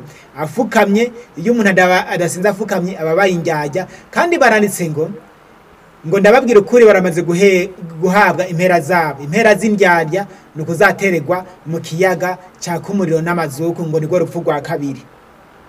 Noneho no eh, kubaha imana no kuyihimbaza. Kubaha imana ni ukuyisenga hama umuntu akitondera amategeko y'imana cumi. Rimwe umuntu akuyemo. Nibyo byitwa kubaha imana. Kuko ntabwo uno kubaha umwami w'ijuru n'isi n'aya mareta yo ku isi afise amategeko. Leta y'imana na yo ntiyabura amategeko.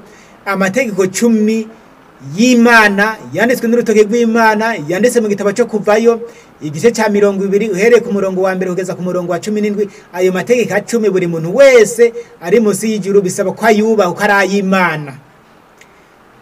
No kuyihimbaza kuyihimbaza ni imirimo myiza. Imirimo myiza nka ya yindi yohana yabwiye abantu bamusanze kuri yorodani aho banditse ngo ufise amapfundo abiri rimwe nariho utarifise n'ufise ibyo kurya nawe nuko.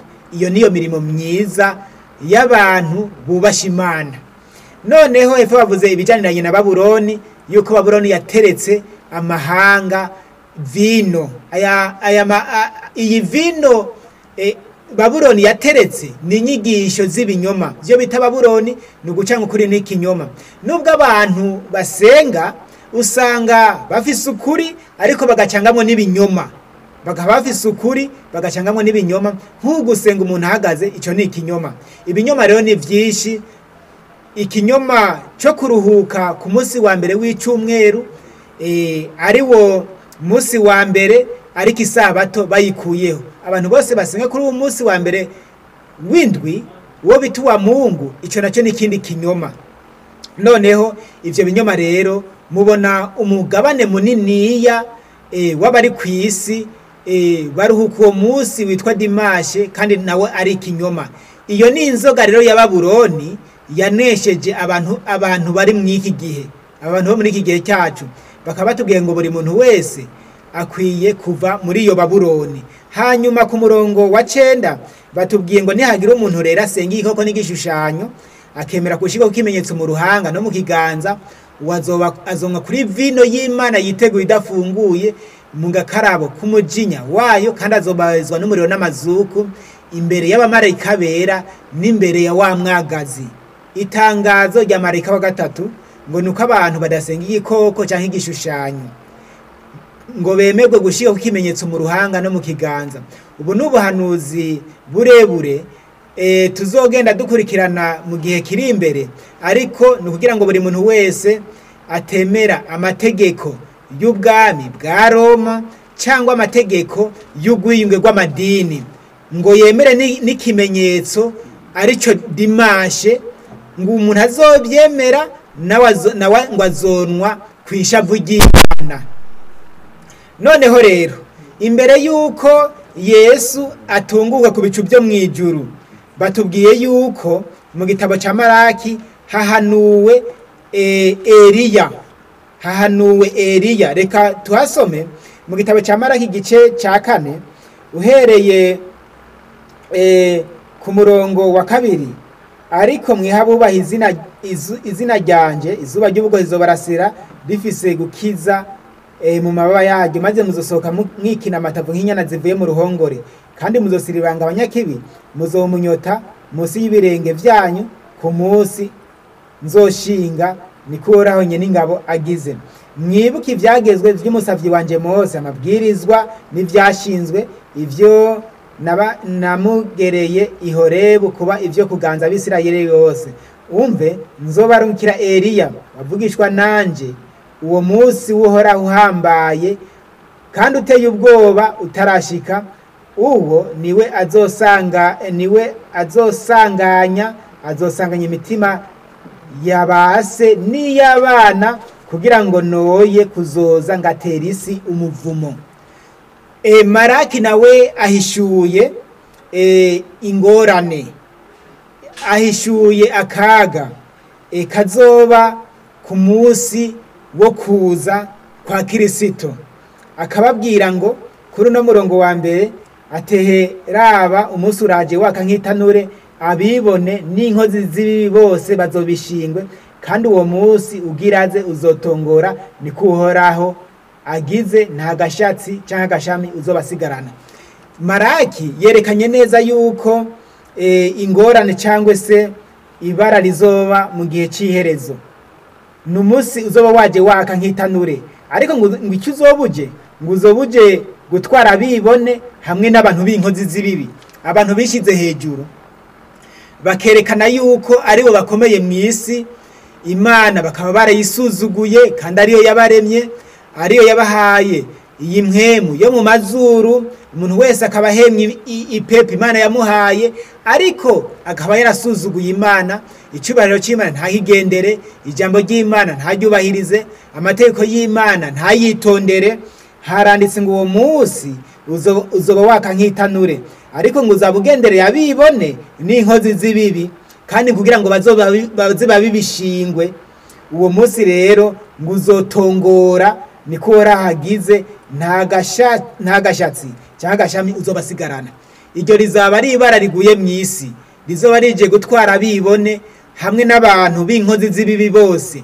Nicyo gituma bisaba ko umuntu wese abizirikana neza akava mu bwibone kandi akava mu gukora ibibi ahubwo umuntu wese akihana nk'uko eh, Eliya yabwiye abantu yuko bakwiye guhindukirira uhoraho. Yohana nawe akabwira abantu base ati nimwihane mwemere ubutumwa bwiza. Noneho baranditse ngo kuri uno murongo wa gatanu umve nzobarungikira eliya wavugishwa nanjye uwo munsi uhoraho uhambaye uteye ubwoba utarashika.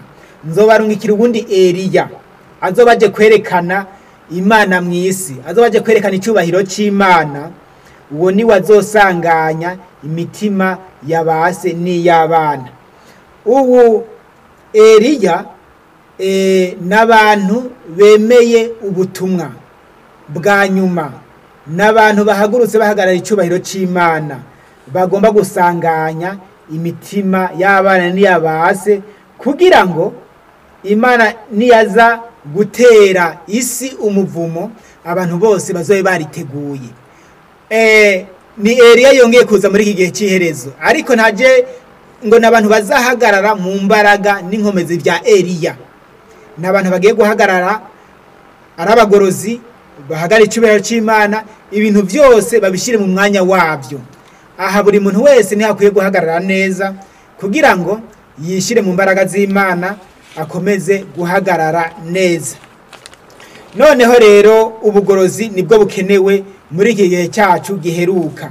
Ariko batubwiye ngo abantu bose babanze imana hanyuma babone eh, guhagarara mu gihe giheruka kugira ngo igihe umuvumo uzatera iyi si yacu bazobe baramaze kwitegura. Noneho rero turiko turagana ku musozo tugiye kwerekana eh, iby'ubugorozi buje gukora muri iyi si. Eh, aho twari twerekeje ni ukugira ngo abantu bose banze bamenye ngo eh, ubugorozi ni iki bugendereye iki ni uguhindura abantu no kubaha imana. Ariko hakaba hariho imigenzo. Imigenzo myinshi iri muri iki gihe cyacu eh, irimo iyobokamana ariko atari ukuri ari ibinyoma. Ni umugenzo w'umubatizo umubatizo kuba ari ugushingira intahe. Ibyo abantu bose baba bizeye ibyo umuntu wese yizeye arabishingira intahe ni cyo gituma mbona amadini abatiza ariko iyo ubirabye neza mu ijambo ry'imana ugasanga baranyuranije cyane baranyuranije cyane umubatizo wo muri kino gihe. Mu gihe cya kera abantu basabwa yuko bakebwa bagasiramurwa abahungu bagasiramurwa ni byo muzosoma eh, mu gitabo eh, cy'itanguriro eh, mu gitabo cyo kuvayo igice cya cumi na kabiri ibijaniranye eh, na pasika yuko abantu basabwa gukebwa kandi no mu gitabo cyo guharura igice cya cyenda ku murongo wa cumi mu gice cya cyenda hakaba hatwereka neza yuko umunyamahanga ya- yaza mu bisirayeli nawe yagomba gukebwa. Bakatwereka muri kino gitabo ca- ca baroma yuko na, ye, e, na aburahamu sogokuruza wacu nawe kubw'ukwizera yarakebwe. Ariko bakatubwira mu gitabo cy'abagaratiya bakatubwira ati muri kino gihe cyacu gukebwa no kudakebwa ntacyo bimaze ahubwo kugira ikimazi ni ukwitondera amategeko y'imana. Noneho mu gitabo cy'abakorosayi igice cya kabiri uhereye ku murongo wa cumi na kabiri bakatwereka neza yuko gukebwa byasubiriwe n'umubatizo. Umubatizo ubera ku ruzi. Yesu ni we yabyerekanye neza mu gitabo cya matayo igice cya mirongo ibiri n'umunani ku murongo eh, wa mirongo ibiri ubwo yabwiye intumwa ziwe ngo mujye mu mahanga yose mwigisha abari mu butumwa bwiza kandi abemera mubatize mu izina rya data wa twese n'iry'umwana n'irya mpwemu yera. Iyo yari gahunda yesu ahaye abigishwa biwe. Ariko yesu nawe nawe yarabatiza. Yabatiza ngo mu- mazi menshi. Mu gitabo cya matayo igice cya kane ku murongo wa mirongo ibiri na gatatu ni ho hatwereka neza uko umubatizo yesu yawukoze kuko ni we yari azi gushyiraho eh, gahunda eh, nziza. Bibiri na gatatu yesu agendagenda i galilaya hose yigisha mu masinagogi yaho ababwira ubutumwa bwiza bw'ubwami akiza indwara n'ubumuga bwose bw'uburyo bwose mu bantu. Hirya baranditse ngo iyo nkuru iyo nkuru iyo nkuru yiwe ikwira Is- isiriya hose bamuzanira abarwayi bose eh, n'abatewe n'indwara zitari zimwe n'ibibashishiriza n'abavuye mu da- eh, n'aba- n'abinjiwe ngo dayimoni n'abarwaye intandara n'ibimuga arabakiza. Kandi ishengero ryinshi kandi ishengero ryinshi riramukurikira bavuye i galilaya n'i dekapoli n'i yerusalemu n'i yudaya no hakurya no hakurya ya yorodani. Aha naho batweretse yuko yesu eh, yigishiriza ubutumwa bwiza kandi akiza n'indwara. Hano muri kino gitabo eh, cya yohana igice cya kane ni ho batubwiye ngo eh, yohana igice cya kane bakatwereka neza yuko yesu eh, aje nawe eh, yarabatiza. Hirya baranditse ngo hirya baranditse ngo hirya baranditse ngo umwami yesu amenya yuko abafarisayo bumvise yuko aronka abigishwa benshi kandi abatiza benshi arusha yohana. Ariko yesu bwiwe siwe yabatiza bari abigishwa biwe. Batweretse yuko yesu yabatiza ariko akabatizwa abigishwa biwe kandi babatiriza ahari amazi menshi. Umubatizo rero uteze kubera hariya ku ruzi.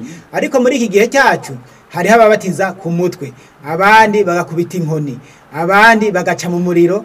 Abandi eh, ngo bagasengerwa ngo umuntu akaba abatijwe. Ibyo byose ni ikinyoma ahubwo umubatizo mwiza ubera ku ruzi kandi abantu bakashingira intahe ibyo bizeye by'ukuri. Iyo umuntu abigenzuye neza agasanga ibyo ariko aragenderamwo ni ibinyoma bisaba ko abivamwo. Iyo umuntu abatirijwe ibyo binyoma ni ukuvuga yuko abanyuranije n'ijambo ry'imana. Umubatizo rero ubera ku ruzi abantu bose bakinikwa mu mazi.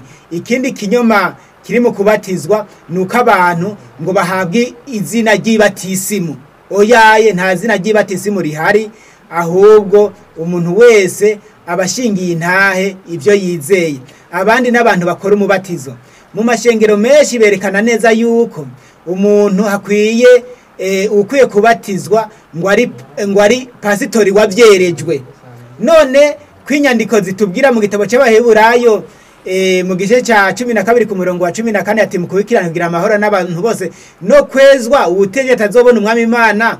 Pasitori yabyereje ni we azoja mu ijuru ahubwo batwereka neza yuko mu gitabo cy'ibyakozwe n'intumwa umwizera iyo yemeye ubutumwa akemera ubutumwa. Neza nawe akabubwiriza abandi nawe arabatizwa.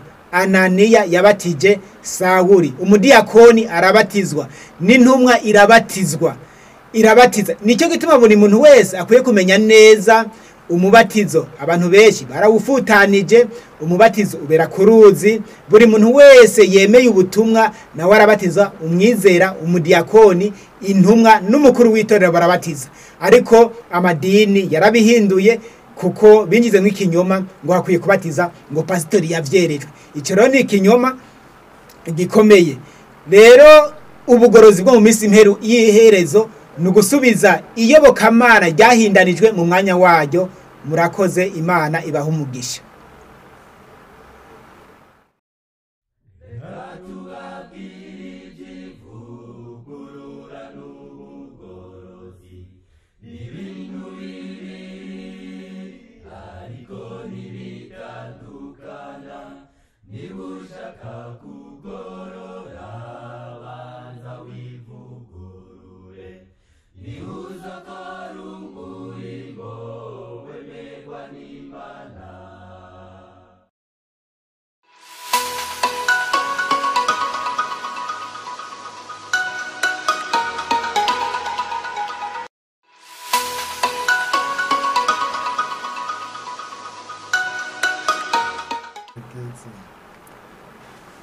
Twongeye kubashimira kandi eh, tunashimira n'imana ikomeje kubana nacu muri zino porogaramu zose kandi ikaba ikibahaye na mwebwe kwihangana mbese n'umwete wo kugira ngo tubane. Rero mu ncamake kuri porogaramu muracyari kumwe na Iven Yomungere eh, kigeretse ko porogaramu ziracyari za zindi nk'uko tunazibashikirije eh, umwigisha amaze kurangiza cyangwa se ararangije icigisho eh, twibaze ko eh, atanumwe yagize ikibazo kuko tuba twabibonye muri komantere ariko abadukurikiranyeho twakomeje kubabona. Mu by'ukuri imana ibaha umugisha.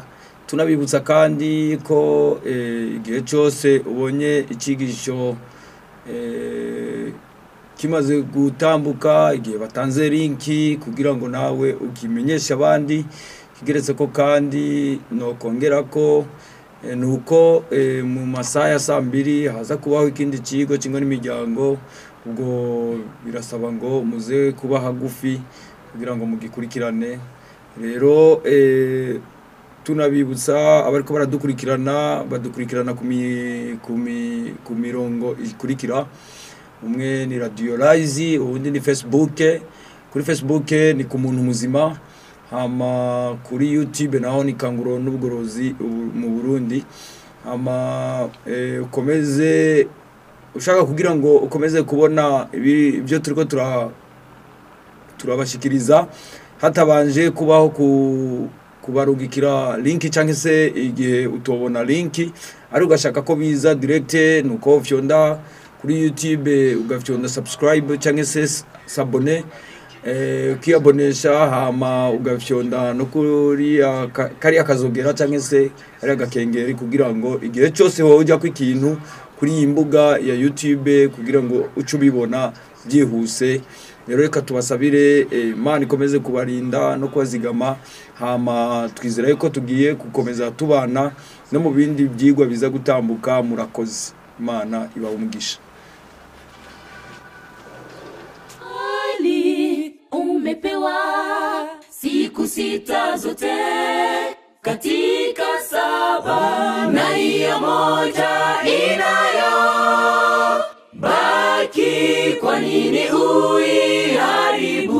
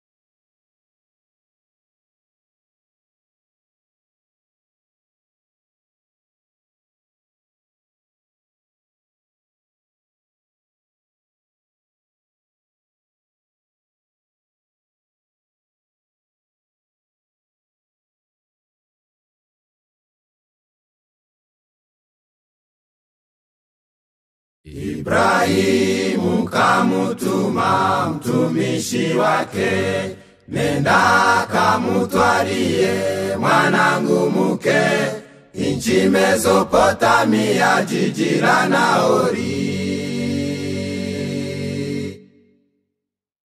Ibrahimu kamutuma mtumishi wake, nenda kamutwalie mwanangu muke, inchi Mesopotamia, jiji la Naori. Akasema, Rebeka, karibu wewe uliyebarikiwa. Alikuwa mzuri sana kwa uso wake.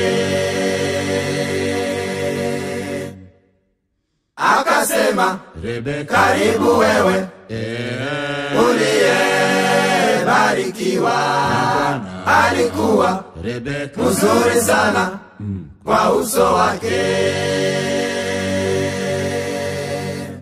Alikuwa bikira wala mwanamume hajamjua bado.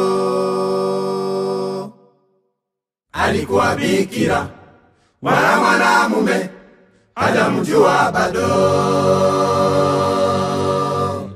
Alikuwa bikira wala mwanamume hajamjua bado. Alikuwa bikira wala mwanamume hajamjua bado. Akasema, Rebeka, karibu wewe uliyebarikiwa. Alikuwa mzuri sana kwa uso wake. Akasema, Rebeka, karibu wewe uliyebarikiwa. Alikuwa mzuri sana kwa uso wake. Mtumishi katoa vitu vya samani, akamupa nduguye na mamaye, fedha dhahabu mavazi kamupa rebeka mtumishi katoa vitu vya samani. Akamupa nduguye na mamaye fedha dhahabu mavazi kamupa rebeka wakamwita wakamuuliza utakwenda na mutu huyu? Akasema Rebeka, nitakwenda. Wakamubariki. Wakamwita wakamuuliza utakwenda na mutu huyu? Akasema Rebeka, nitakwenda. Wakamubariki basi Isaka alikuwa anakuja kutoka Berlahiloi, kainua macho yake kaona ngamia wanakuja. Basi Isaka alikuwa anakuja kutoka Berlahiloi, kainua macho yake kaona ngamia wanakuja. Basi Isaka alikuwa anakuja kutoka Berlahiloi, kainua macho yake kaona ngamia wanakuja. Basi Isaka alikuwa anakuja kutoka Berlahiloi, kainua macho yake kaona ngamia wanakuja. Wakamwita wakamuuliza, utakwenda na mutu huyu? Akasema, nitakwenda. Wakamubariki,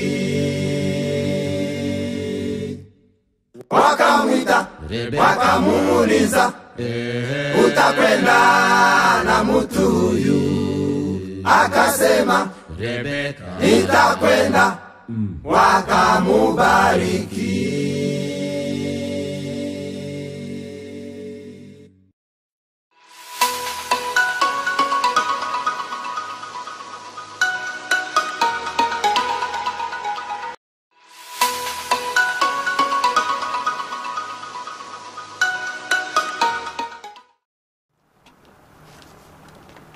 Twongeye gushimira imana eh, ikibanye nacu mu by'ukuri eh, kuba tukiri bazima gusa ni ibintu byiza kandi eh, byo gushimira imana. Hariho benshi bamaze gupfa hariho n'abandi bamaze gushika muri koma hariho n'abandi mu by'ukuri ubu mu ncamake bababaye ariko gusa twe turacyashima imana kandi n'abariko baradukurikirana twizera ko mumeze neza nubwo mwoba mugwaye ariko imana yabarinze gupfa no kuvunika.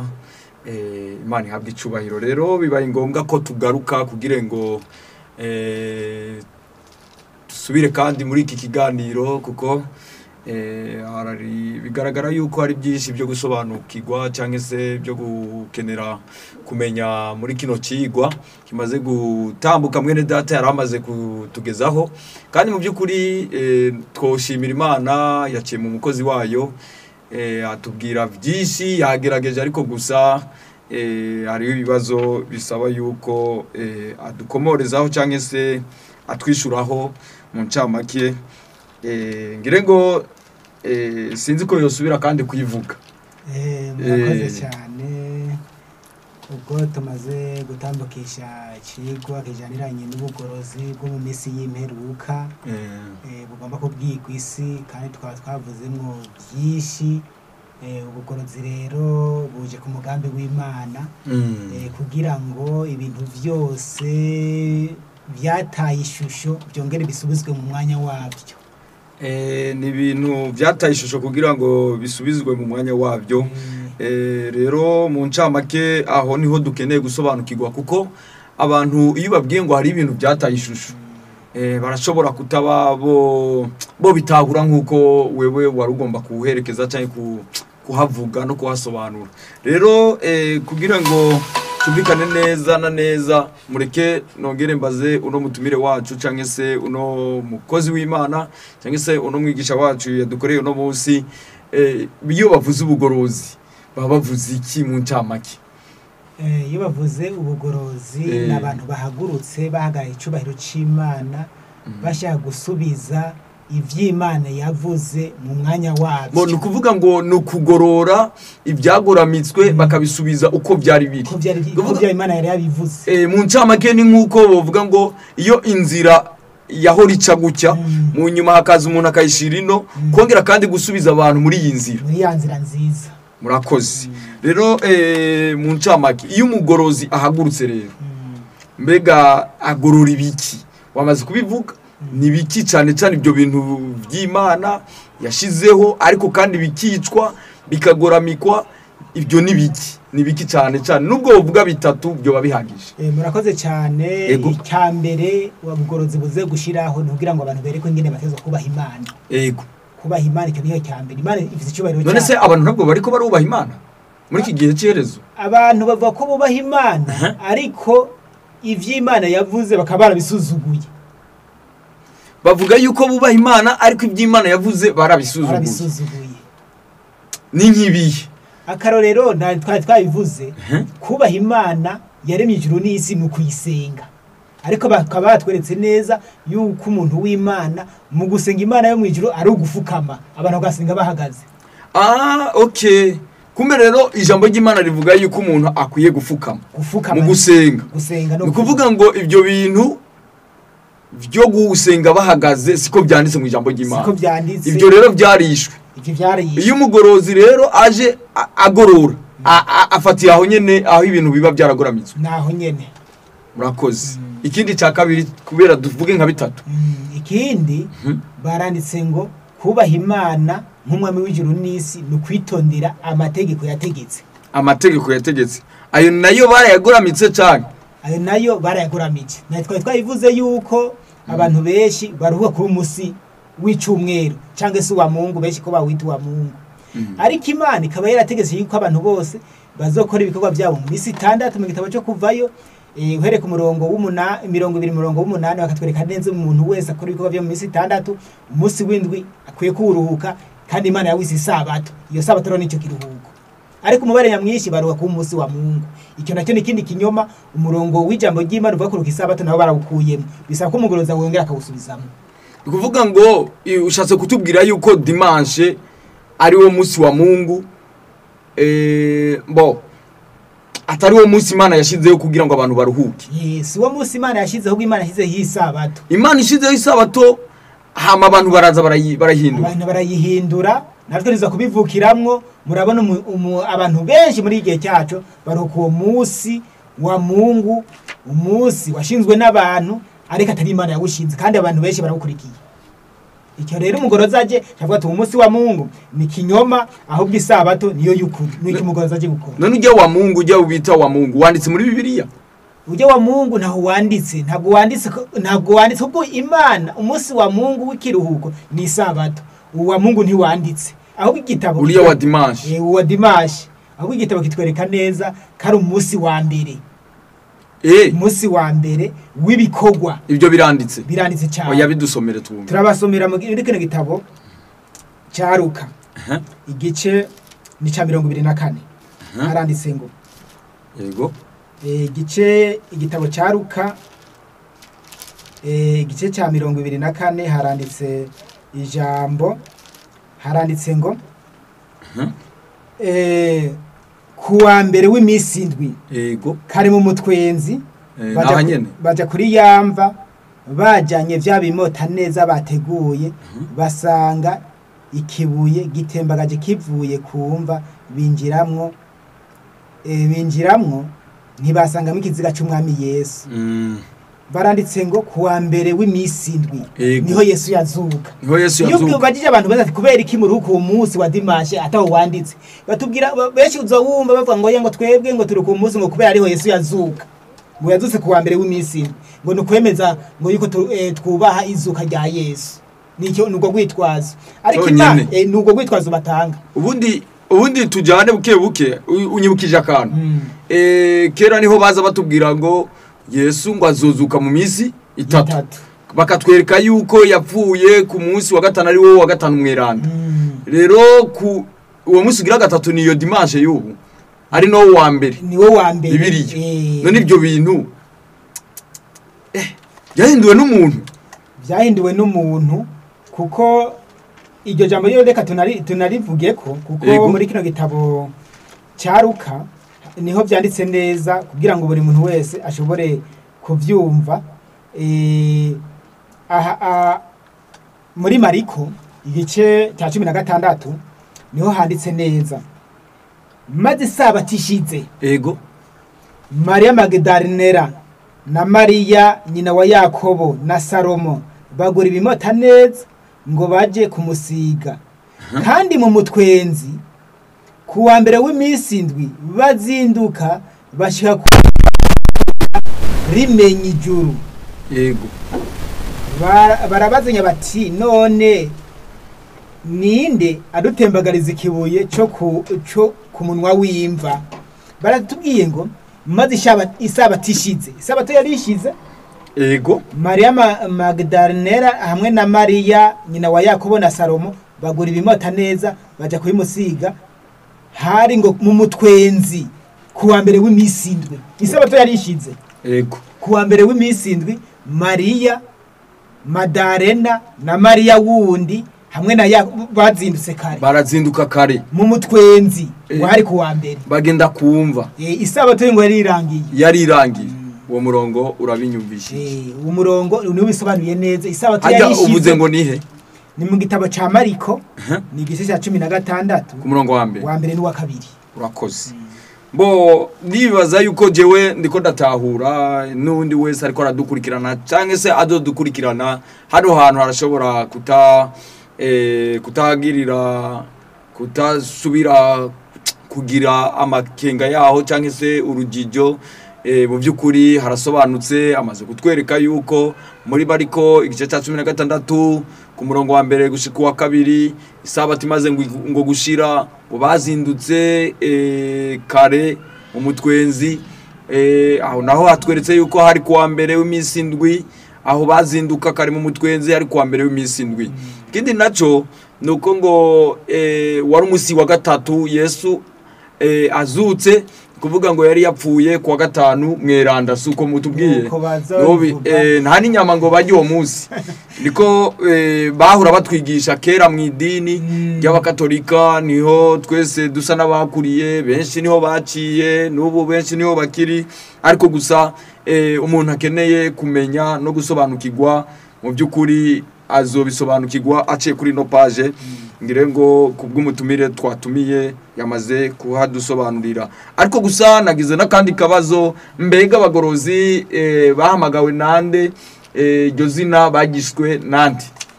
Eh, abagorozi ntabwo ari byaduka. Ego? Mm-mm.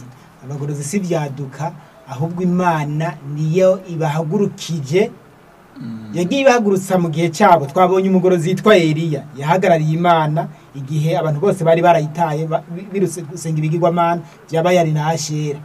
Hatwereka yohani umubatizi ingene ahagurutse asanze gahunda y'ubuherezi yarononekaye. Yaguma mu iherezi ku gahunda yo kubiha imana yari yaramaze gufutana. Acaja mu bugaragwa kugira ngo yereke abantu ko bakwiye gusenga imana by'ukuri no kwitegura yesu yaragiye kuza. Noneho bakatwereka ngo abo yohana ashushanya abandi bantu bazahabwa igikorwa cyo gutegura ubwoko buzohagarara buzohagarara mu gihe cy'iherezo kugira ngo bwitegure gusanganira yesu aje ubwa kabiri gutora itorero. Abo rero nibo bagorozi bazoba baje gushyira ibintu mu rutonde rwiza na burya eh, yesaya yari yarabivuze abitumwe n'imana muri iki gice cya mirongo itanu n'umunani. Abagorozi ni imana ibahagurukije ni imana ibahagurukije umaze kutubwira yuko eh, ni imana ibahagurukije kandi biboneka mu gitabo cya yesaya mirongo itanu n'umunani. Ni kuvuga ngo mu yandi majambo eh, si bo bihagurukanye oya kandi nta nubwo ari n'ibyaduka si byaduka. Kuko ni imana ibahagurukije. Mbega none uwahaguruka wese akaza eh, agorora nawe nyene yo kwitwa umugorozi. Wihagurukije wiha- ni cyo gituma mubona amadini yabaye menshi. Yego ariko yesu yagiye ari- yari yaragiye abivuze hariho abantu ngo bihagurutsa na byo ivyo bibaho.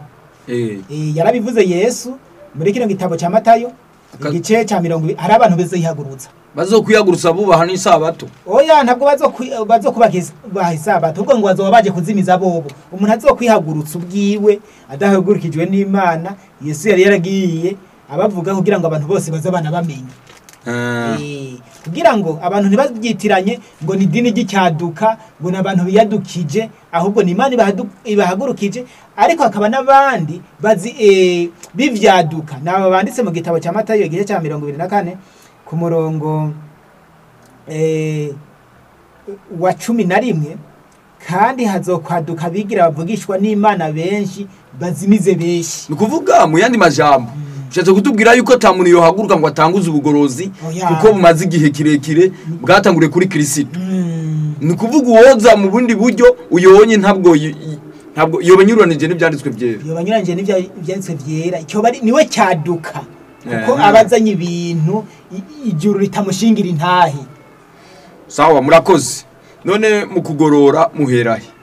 Mukagorora bande aba iyo batugorora Mu- muhera mu ngo canke muhera mu rushengero canke muhera hehe mukagorora icyo- kuko umuntu yoba yarishe ino sabato yarahinduye amabwirizwa y'imana. Nibaza yuko yoba atagihari. Wahinduye amategeko y'imana ubu ntagihari.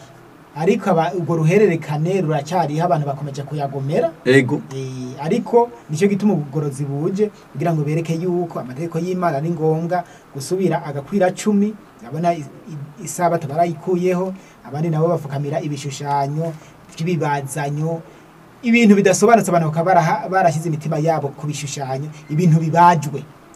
Ayo mategeko abiri rero bisaba ko asubizwamo akaba amategeko cumi. Ubwo yakobo mu gice cya kabiri haranditse ku murongo wa cumi ati umuntu iyo yitondeye amategeko yose ariko akica rimwe aba acumuye kuri yose. Igiharuro cy'imana rero si ibi nk'ibi biharuro byo ku isi. Eh, urabona ku isi iyo ufashe icumi ugakuramo bibiri bisigara umunani. Ariko mu ru- mu biharuro by'imana iyo umuntu afashe cumi agakuramo bibiri byose ni zero. Rero aya mategeko abiri isabato n'iry'ibishushanyo bisaba ko ayo bantu bongera bakayasubizamo. Ayo mategeko niyo fondasiyo yo kubaha imana ariho twereka abantu ko bakwiye gushigikira kubaha imana bitondeye amategeko y'imana. Na buri kandi yaboneka nk'ibyaha kandi akaba atamunyabyaha azoja mu none turetse isabato hariyo uvuze ko hariyo n'irindi ngo ry'ibishushanyo ibishushanyo na byo bimeze gute bivuga ku iki eh, n'ibiye ni biriya bya yesu bashira mu nzu bimeze gute? Ibishushanyo ibishushanyo ni ibintu byose bi- bibajwe n'abantu. Ariko bakaba bishyira mu mwanya w'iyobokamana. Bakabisenga. Bakabisenga se? bakanabifukamira bibaho. Muza mubona yuko imisa- umusaraba uza ubona ahantu ushobora guca hari igiti cy'umusaraba kimeze gutya ariko ugasanga hari n'abantu bahafukamye. Ibyo na byo byemewe. Abantu usanga bafise ibibumbano. Nk'ubu tugiye kwerekeza kuri noheli uzosanga nga mu mayira hari utubumbano ibintu babumbye mu ibumba bakavuga ngo ubu ngo ni akana yesu. Kandi abantu bakavuga ngo ngo ibibumbano ngo ni vyeranda none hariyo umurongo ubuza gu- gufukamira akana yesu? Ivyo ibintu by'ibishushanyo byose. Mu mategeko y'imana. Ntabwo itegeko ry'imana rya kabiri rirabibuza. Rirabibuza baranditse ngo umuntu kubibaza ni icyaha. No kubyikubita imbere. No kubyikibuta imbere ni ikindi cyaha. No kubisaba ni ikindi cyaha. Muri wongera kino- bisaba udusigurire muri neza. kino gitabo cyo kuvayo igice cya mirongo ibiri ni ho byanditse. Turabe. Baranditse ngo ntimukibazire igishushanyo. Yego. Ni ikintu cy'igishushanyo ubaje. Cyangwa igisa n'ishusho. Y'ikintu na kimwe. Kiri hejuru mu ijuru